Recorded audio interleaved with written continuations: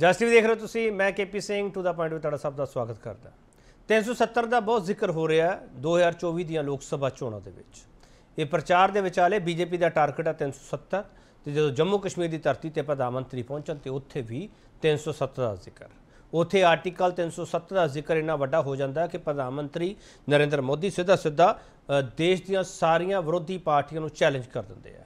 Challenge ਇਹ ਕਰਦੇ ਆ, ਕਹਿੰਦੇ ਧਾਰਾ 370 ਅਸੀਂ ਹਟਾਈ ਹੈ, ਇਹ ਕੰਧ ਡੇਗੀ ਹੈ ਤੇ ਤੁਸੀਂ ਇਹਨੂੰ ਵਾਪਸ ਕਰਕੇ ਦਿਖਾਓ ਮੇਰੀ ਚੁਣੌਤੀ ਹੈ ਇਹ ਪ੍ਰਧਾਨ ਮੰਤਰੀ ਉੱਥੇ ਕਹਿੰਦੇ ਆ ਅਸੀਂ ਇਹ ਪੁੱਛਣਾ 370 ਦਾ ਚੈਲੰਜ ਕਿਉਂ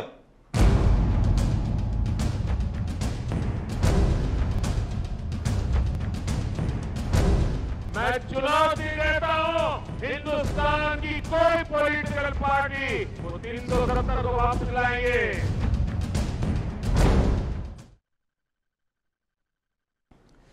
ਪ੍ਰਧਾਨ ਮੰਤਰੀ ਨੇ ਕੀ ਕਿਹਾ ਤੇ ਬਾਕੀ ਧਿਰਾਂ ਕੀ ਕਹਿ ਰਹੀਆਂ ਪਹਿਲਾਂ ਸੁਣ ਲਈਏ मैं चुनौती देता हूं हिंदुस्तान की कोई पॉलिटिकल पार्टी हिम्मत करके आ जाए विशेष करके मैं कांग्रेस को चुनौती देता हूं वो घोषणा करे वो 370 को वापस लाएंगे ये देश उनका मुँह तक देखने को तैयार नहीं होगा। If the honourable prime minister is correct and he truly believe what he says why is the BJP not putting up candidates in in north Kashmir central Kashmir south Kashmir कहीं ऐसा ना हो कि what the honourable prime minister is saying and what he actually knows to be true there is a difference आए मैदान में BJP अपने उम्मीदवार उतारे हम भी देखे ना अगर वो अपनी जमानत बचा पाए या नहीं। His members of parliament openly state that they're going to change the constitution.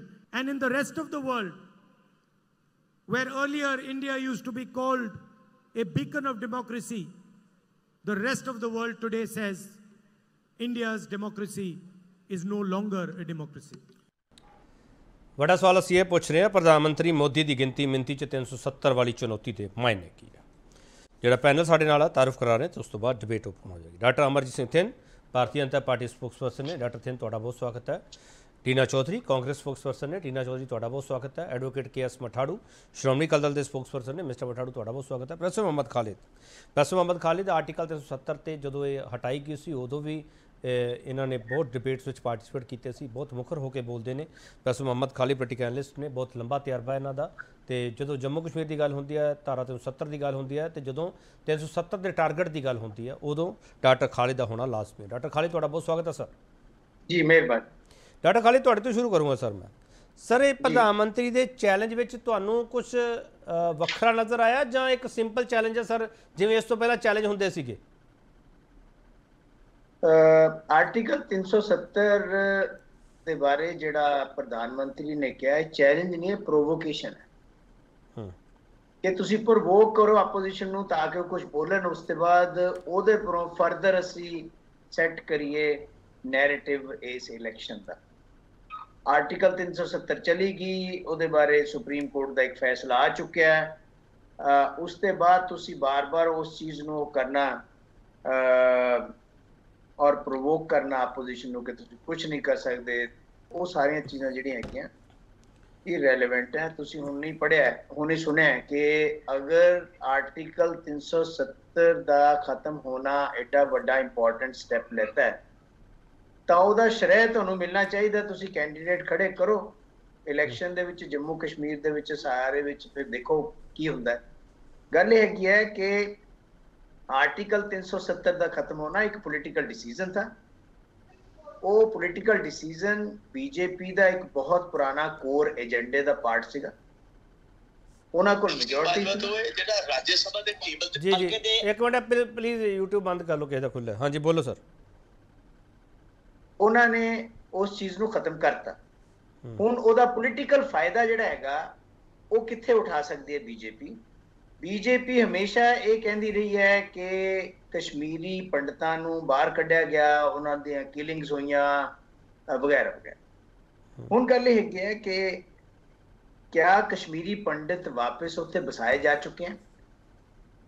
ਕਿਆ ਕਸ਼ਮੀਰੀ ਪੰਡਤਾਂ ਨੂੰ ਮੈਂਟਲੀ ਤਿਆਰ ਕਰ ਦਿੱਤਾ ਗਿਆ ਕਿ ਭਾਈ ਤੁਸੀਂ ਉੱਥੇ ਬਸਾਓ ਜਾਂ ਉਹਨਾਂ ਵਾਸਤੇ ਕੋਈ ਵਿਸ਼ੇਸ਼ ਫੈਸਿਲਿਟੀਆਂ ਕ੍ਰੀਏਟ ਕੀਤੀਆਂ ਗਈਆਂ ਉੱਥੇ? ਕਸ਼ਮੀਰੀ ਪੰਡਿਤ ਉੱਥੇ ਫੇਰ ਵੀ ਜਾਣ ਵਾਸਤੇ ਬਿਲਕੁਲ ਤਿਆਰ ਨਹੀਂ ਹਨ। ਇੱਕਾ ਦੁੱਕਾ ਕੁਝ ਨਹੀਂ, ਡਾਕਟਰ ਖਾਲਿਦ ਉਹ ਤਾਂ ਕਹਿੰਦੇ ਆ ਵਿਕਾਸ ਦੀਆਂ ਬੁਲੰਦੀਆਂ ਛੂ ਰਿਹਾ 10 ਸਾਲਾਂ ਵਿੱਚ ਜਿੰਨਾ ਬਦਲਾਅ ਨਹੀਂ, ਚ ਆਇਆ ਸਰ ਇਸ ਤੋਂ ਪਹਿਲਾਂ ਆਇਆ ਹੀ ਨਹੀਂ ਡਾਕਟਰ ਖਾਲਿਦ ਉਹ ਤਾਂ ਕਹਿ ਰਹੇ ਮੈਂ ਤੁਹਾਨੂੰ ਦੱਸਣਾ ਜੰਮੂ ਕਸ਼ਮੀਰ ਪਹਿਲਾਂ ਹੀ ਕੋਈ ਪਛੜਿਆ ਹੋਇਆ ਰਾਜ ਨਹੀਂ ਸੀਗਾ ਕੋਈ ਬਿਮਾਰੂ ਸਟੇਟ ਨਹੀਂ ਸੀਗਾ। ਹੂੰ।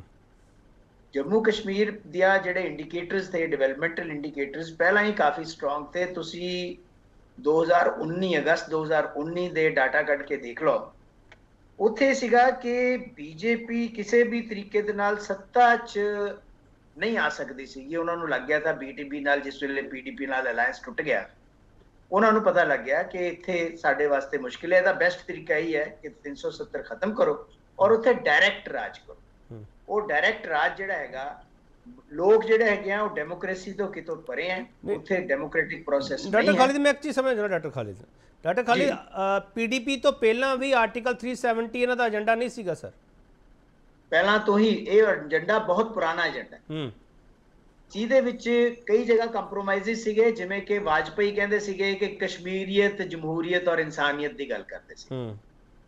ਲੇਕਿਨ ਉਹਨਾਂ ਨੇ ਕਦੇ ਵੀ ਆਰਟੀਕਲ 370 ਕਿਉਂਕਿ ਆਰਟੀਕਲ 370 ਦੇ ਬਾਰੇ ਜਿਹੜੇ ਕਸ਼ਮੀਰ ਦੇ ਲੀਡਰ ਸੀਗੇ ਉਹਨਾਂ ਸਾਰਿਆਂ ਦਾ ਇਹ ਸੀਗਾ ਕਿ ਆਰਟੀਕਲ 370 ਇੱਕ ਤਰ੍ਹਾਂ ਜੰਮੂ ਕਸ਼ਮੀਰ ਨੂੰ ਜੋੜਦਾ ਹੈ ਰੈਸਟ ਆਫ ਇੰਡੀਆ ਦੇ ਨਾਲ। ਲੇਕਿਨ ਉਹ ਜਿਹੜੀ ਸੀਗੀ ਉਹ ਟੁੱਟ ਗਿਆ। ਉਹਦੇ ਨਾਲ ਜਿਹੜੀ ਉੱਥੇ ਇੱਕ ਆਈਸੋਲੇਸ਼ਨ ਆਈ ਹੈ। ਕਿਉਂਕਿ ਤੁਸੀਂ ਮੈਜੋਰਿਟੀ ਕਰਕੇ jackboot of the state ਲੋਕਾਂ ਨੂੰ ਨਜ਼ਰਬੰਦ ਕਰਕੇ ਤੁਸੀਂ ਦੇਖੋ ਵੀ ਜਾਮਾ ਮਸਜਿਦ ਉੱਥੇ ਕਿੰਨੀ ਹਿਸਟੋਰੀਕਲ ਜਗ੍ਹਾ ਹੈਗੀ ਹੈ। ਉਹਦੇ ਵਿੱਚ ਐਤਕੀ ਜੁਮ ਈਦ ਨਹੀਂ ਹੋਈ ਈਦਗੀ ਈਦ ਅੱਛਾ ਜਿਹੜਾ ਉੱਥੇ ਦਾ ਪੇਸ਼ ਇਮਾਮ ਹੈ ਉਹ ਨਜ਼ਰਬੰਦ ਹੈ। ਇਸ ਤਰ੍ਹਾਂ ਕਰਕੇ ਤੁਸੀਂ ਕੁਝ ਵੀ ਕਰ ਸਕਦੇ ਹੋ ਕਿਉਂਕਿ ਸਟੇਟ ਦਾ ਆਪਰੇਟਸ ਤੁਹਾਡੇ ਕੋਲ ਹੈ ਮੈਜੋਰਿਟੀ ਤੁਹਾਡੇ ਕੋਲ ਹੈ। ਲੇਕਿਨ ਉਹਦੇ ਨਾਲ ਤੁਸੀਂ ਲੋਕਾਂ ਦੇ ਦਿਲ ਨਹੀਂ ਜੋੜ ਸਕਦੇ। ਉਹ ਬੜਾ ਮੁਸ਼ਕਿਲ ਹੈ। ਔਰ ਡਿਵੈਲਪਮੈਂਟ ਜਿਹੜੀ ਹੈਗੀ ਹੈ ਉਹ ਡਿਵੈਲਪਮੈਂਟ ਤਾਂ ਉੱਥੇ ਦੇ ਲੀਡਰ ਹੋਰ ਤਰੀਕੇ ਦੇ ਨਾਲ ਕਹਿੰਦੇ ਆ ਕਿ ਡਿਵੈਲਪਮੈਂਟ ਕੋਈ ਖਾਸ ਨਹੀਂ ਹੋਈ। ਇੱਥੇ ਜਿਹੜਾ ਹੈ ਕਿਹਾ ਜਾਂਦਾ ਹੈ ਕਿ ਦੇਖੋ ਤੁਸੀਂ ਟ੍ਰੇਨਾਂ ਦੇ ਨਾਲ ਤੁਸੀਂ ਰੇਲਾਂ ਦੀਆਂ ਪਟੜੀਆਂ ਵਿਚ ਰਹੀਆਂ ਕਨੈਕਟੀਵਿਟੀ ਕ੍ਰੀਏਟ ਹੋ ਰਹੀ ਹੈ। ਉਹ ਸਾਰਾ ਕੁਝ ਹੋ ਰਿਹਾ ਟੂਰਿਜ਼ਮ ਡਿਵੈਲਪ ਹੋ ਰਿਹਾ। ਤਾਂ ਦੋਨਾਂ ਦੇ ਅਲੱਗ-ਅਲੱਗ ਨੈਰੇਟਿਵ ਹੈ ਉੱਥੇ ਦੇ ਲੋਕਲ ਲੀਡਰਾਂ ਦੇ ਔਰ ਸੈਂਟਰਲ ਲੀਡਰਾਂ ਸਰ ਨੈਰੇਟਿਵ ਸਮਝਾ ਸਕਦੇ ਸਰ? ਤੁਸੀਂ ਨੈਰੇਟਿਵ ਕਿਹੜੇ ਵੱਲ ਇਸ਼ਾਰਾ ਕਰ ਰਹੇ ਹੋ ਸਰ? ਦੇਖੋ ਨੈਰੇਟਿਵ ਇਹੀ ਇਸ਼ਾਰਾ ਕਰ ਰਿਹਾ ਜਿਹੜੇ ਉੱਥੇ ਦੇ ਲੋਕਲ ਲੀਡਰਸ ਹੈ। ਖਾਸ ਤੌਰ ਪਰ ਜਿਹੜੀਆਂ ਮੇਨ ਪੋਲੀਟੀਕਲ ਪਾਰਟੀਆਂ ਹੈ ਪੀਡੀਪੀ ਔਰ ਨੈਸ਼ਨਲ ਕਾਨਫਰੰਸ ਉਹਨਾਂ ਦਾ ਇਹੀ ਹੈ ਕਿ ਇੱਥੇ ਦੇ ਲੋਕਾਂ ਦੇ ਵਿੱਚ ਆਈਸੋਲੇਸ਼ਨ ਵਧੀ ਹੈ ਨਾ ਕਿ ਘਟੀ ਹੈ। ਆਰਟੀਕਲ 370 ਖਤਮ ਹੋਣ ਦੇ ਠੀਕ ਹੈ। ਡਾਕਟਰ ਅ, ਡਾਕਟਰ ਖਾਲਿਦ ਨੇ ਇੱਕ ਬੜਾ ਵੱਡਾ ਸ਼ਬਦ ਵਰਤਿਆ ਤੁਸੀਂ ਵਰਤਿਆ ਚੈਲੰਜ। ਉਹ ਕਹਿੰਦੇ ਪ੍ਰਵੋਕ ਕਰ ਰਹੇ ਹੋ। ਪ੍ਰਵੋਕ ਦਾ ਮਤਲਬ ਜੋ ਮੈਨੂੰ ਸਮਝ ਆ ਰਿਹਾ ਹੈ, ਉਕਸਾ ਰਹੇ ਹੋ ਤੁਸੀਂ ਆਪੋਜੀਸ਼ਨ ਡਾਕਟਰ ਸਿੰਧ ਆਵਾਜ਼ ਖੋਲੋ ਡਾਕਟਰ ਸਿੰਧ ਆਪਦੀ। ਅੱਜ ਹਾਂ ਬੋਲੋ। ਹਾਂ ਦੇਖੋ ਕੇਪੀ ਜੀ ਗੱਲ ਇਹ ਹੈ ਕਿ ਮੈਂ ਖਾਲਿਦ ਸਾਹਿਬ ਨੂੰ ਬੜੇ ਧਿਆਨ ਨਾਲ ਸੁਣ ਰਿਹਾ ਸੀ ਇਹਨਾਂ ਦੀ ਗੱਲਾਂ ਨੂੰ। ਔਰ ਇਹਨਾਂ ਨੇ ਕਿਹਾ ਕਿ ਉੱਥੋਂ ਦੇ ਲੋਕਲ ਲੀਡਰ ਖੁਸ਼ ਨਹੀਂ ਹੈ। ਮੈਂ ਇੱਥੋਂ ਗੱਲ ਸ਼ੁਰੂ ਕਰ ਦਿੰਦਾ ਕਿ ਲੋਕਲ ਲੀਡਰ ਕੌਣ ਨੇ ਇਹ ਉਹੀ ਲੀਡਰ ਨੇ ਜਿਨ੍ਹਾਂ ਨੇ ਲੰਬਾ ਸਮਾਂ ਤੱਕ ਕਸ਼ਮੀਰ ਦੇ ਵਿੱਚ ਰਾਜ ਕੀਤਾ ਔਰ ਜਦੋਂ ਕਸ਼ਮੀਰ ਦੇ ਵਿੱਚ ਪਾਕਿਸਤਾਨ ਜ਼ਿੰਦਾਬਾਦ ਹਿੰਦੁਸਤਾਨ ਮੁਰਦਾਬਾਦ ਦੇ ਨਾਰੇ ਥੋੜਾ ਜਿਹਾ ਮੈਂ ਕਰੈਕਟ। ਕਰਦਾ ਡਾਕਟਰ ਸਿੰਘ ਥੋੜਾ ਜਿਹਾ ਮੈਂ ਕਰੈਕਟ ਕਰਦਾ ਡਾਕਟਰ ਖਾਲਿਦ ਇਹ ਕਹਿ ਰਿਹਾ ਹੈ ਉੱਥੋਂ ਦੀ ਲੋਕਲ ਲੀਡਰਸ਼ਿਪ ਦਾ ਨੈਰੇਟਿਵ ਹੋ ਰਿਹਾ ਹੈ, ਤੁਹਾਡਾ ਨੈਰੇਟਿਵ ਹੋ ਰਿਹਾ ਹੈ। ਉੱਥੋਂ ਜਿਹੜੇ ਲੋਕ ਹੈ ਉਹ ਆਪਦੇ ਆਪ ਨੂੰ ਆਈਸੋਲੇਸ਼ਨ ਚ ਮਹਿਸੂਸ ਕਰ ਰਹੇ ਸਰ ਇਹ ਸਟੇਟਮੈਂਟ ਹੈ ਡਾਕਟਰ ਉਹੀ ਖਾਲਿਦ ਗੱਲ ਕਹਿ ਰਿਹਾ ਨਾ ਮੈਂ। ਉਹੀ ਗੱਲ ਕਹਿ ਰਿਹਾ ਨਾ ਕਿ ਉਹ ਲੋਕਲ ਲੀਡਰਸ਼ਿਪ ਜਿਹੜੇ ਜੋ ਕਹਿ ਰਹੇ ਨੇ ਉਹ ਕਿਹੜੇ ਲੀਡਰ ਨੇ ਇਹ ਉਹੀ ਲੀਡਰ ਨੇ ਜਦੋਂ ਸੱਤਾ 'ਚ ਹੁੰਦੇ ਸੀ ਔਰ ਪਾਕਿਸਤਾਨ ਜ਼ਿੰਦਾਬਾਦ ਹਿੰਦੁਸਤਾਨ ਮੁਰਦਾਬਾਦ ਦੇ ਨਾਰੇ ਲੱਗਦੇ ਹੁੰਦੇ ਸੀ ਪਾਕਿਸਤਾਨ ਦਾ ਝੰਡਾ ਉੱਥੇ ਚੜਾਇਆ ਜਾਂਦਾ ਹੁੰਦਾ ਸੀ ਔਰ ਸਾਡਾ ਤਿਰੰਗਾ ਉੱਥੇ ਫਾੜਿਆ ਜਾਂਦਾ ਹੁੰਦਾ ਸੀ ਔਰ ਆਏ ਦਿਨ ਉੱਥੇ ਬੰਦ ਦੀ ਕਾਲ ਹੁੰਦੀ ਸੀ ਔਰ ਮਾਹੌਲ ਜਿਹੜਾ ਹੈਗਾ ਆ ਉੱਥੋਂ ਦੇ ਪ੍ਰੈਗਨੈਂਟ ਲੇਡੀਜ਼ ਅੱਜ ਅੱਜ ਵੀਡੀਓ ਆ ਰਹੀਆਂ ਨੇ ਇੰਟਰਵਿਊਸ ਆਉਂਦੀ ਉੱਥੋਂ ਦੇ तमाम ਉੱਥੋਂ ਦੇ ਜਿਹੜੇ ਆਵਾਮ ਹੈ ਕਿ ਪ੍ਰੈਗਨੈਂਟ ਲੇਡੀਜ਼ ਨੂੰ ਬੰਦ ਦੇ ਕਾਲ ਕਾਰਨ ਹਸਪੀਟਲ ਤੱਕ ਨਹੀਂ ਸੀ ਜਾਣ ਦਿੱਤਾ ਜਾਂਦਾ। ਸੋ ਇਸ ਕਰਕੇ ਜਿਹੜਾ ਅੱਜ ਕਸ਼ਮੀਰ ਤਰੱਕੀ ਕਰ ਰਿਹਾ ਡਿਵੈਲਪਮੈਂਟ ਕਰ ਰਿਹਾ, ਅੱਜ ਕਸ਼ਮੀਰ ਦੇ ਉਸ ਜਗ੍ਹਾ ਤੱਕ ਰੇਲਵੇ ਰੇਲਵੇ ਸਟੇਸ਼ਨ ਔਰ ਰੇਲ ਪਹੁੰਚ ਚੁੱਕੀ ਹੈ ਜਿੱਥੇ ਕਦੀ ਕਿਸੇ ਨੇ ਸੁਪਨੇ 'ਚ ਤਾਂ ਕੀ ਸੋਚਣ ਨਹੀਂ ਸੀ ਸੋਚਿਆ ਔਰ ਆਪਣੇ ਮੰਗ ਪੱਤਰਾਂ ਦੇ ਵਿੱਚ ਆਪਣੇ ਘੋਸ਼ਣਾ ਪੱਤਰਾਂ ਦੇ ਵਿੱਚ ਇਹ ਲਾਗੂ ਨਹੀਂ ਸੀ ਕੀਤਾ ਕਿ ਅਸੀਂ ਰੇਲ ਲਿਆਵਾਂਗੇ। ਅੱਜ ਹਾਈਵੇਜ਼ ਉੱਥੋਂ ਤੱਕ ਪਹੁੰਚ ਚੁੱਕੇ ਨੇ।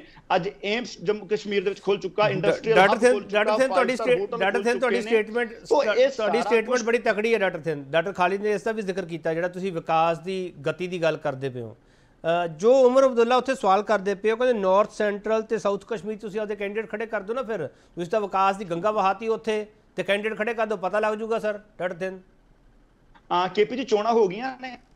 ਜਾਂ ਚੋਣਾਂ ਦੇ ਚੋਣ ਭਰਨ ਦੇ ਫਾਰਮ ਲੰਘ ਚੁੱਕੇ ਨੇ। ਤੇ ਸਰ ਚੋਣਾਂ ਕਰਵਾਉਣੀਆਂ ਕਦੋਂ ਹੈ ਸਰ? ਹਰ ਵਾਰੀ ਤੁਸੀਂ ਕਹਿੰਦੇ ਕਰਵਾ ਦਾਂ ਕਰਵਾ ਦਾਂ ਕਰਵਾ ਦਾਂ ਕਦੋਂ ਕਰਵਾਉਣੀਆਂ ਸਰ?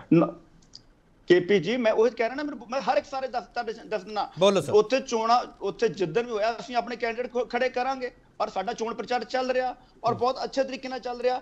ਅੱਜ ਕਸ਼ਮੀਰ ਦੇ ਵਿੱਚ ਇੰਡਸਟਰੀਅਲ ਹੱਬ ਖੁੱਲ ਚੁੱਕੇ ਨੇ। ਉੱਥੇ ਜਿੱਥੇ ਆਏ ਦਿਨ ਬੰਬ ਧਮਾਕੇ ਗੋਲੀਆਂ ਚੱਲਦੀਆਂ ਹੁੰਦੀਆਂ ਸੀ ਅੱਜ ਪੀਸਫੁਲ ਤਰੀਕੇ ਨਾਲ ਲੋਕ ਆਪਣੀ ਅਗਲੀ ਸਟੇਟਮੈਂਟ ਵੀ। ਡਾਕਟਰ ਥਿੰਨ ਸੁਣ ਲਓ ਨਾ। ਅਗਲੀ ਸਟੇਟਮੈਂਟ ਵੀ ਨਾਲ ਹੀ ਸੁਣ ਲਓ। ਉਹ ਇਹ ਕਹਿੰਦੇ ਪਿਆ ਜੇ ਉੱਥੇ ਜ਼ਮਾਨਤਾਂ ਜ਼ਬਤ ਨਾ ਹੋਈਆਂ ਤੁਹਾਡੇ ਕੈਂਡੀਡੇਟਸ ਦੀਆਂ ਕਹਿੰਦੇ ਮੈਂ ਸਿਆਸਤ ਸੰਨਿਆਸ ਲੈ ਲੂੰਗਾ ਉਮਰ ਅਬਦੁੱਲਾ ਦਾ ਚੈਲੰਜ ਹੈ ਇਹ।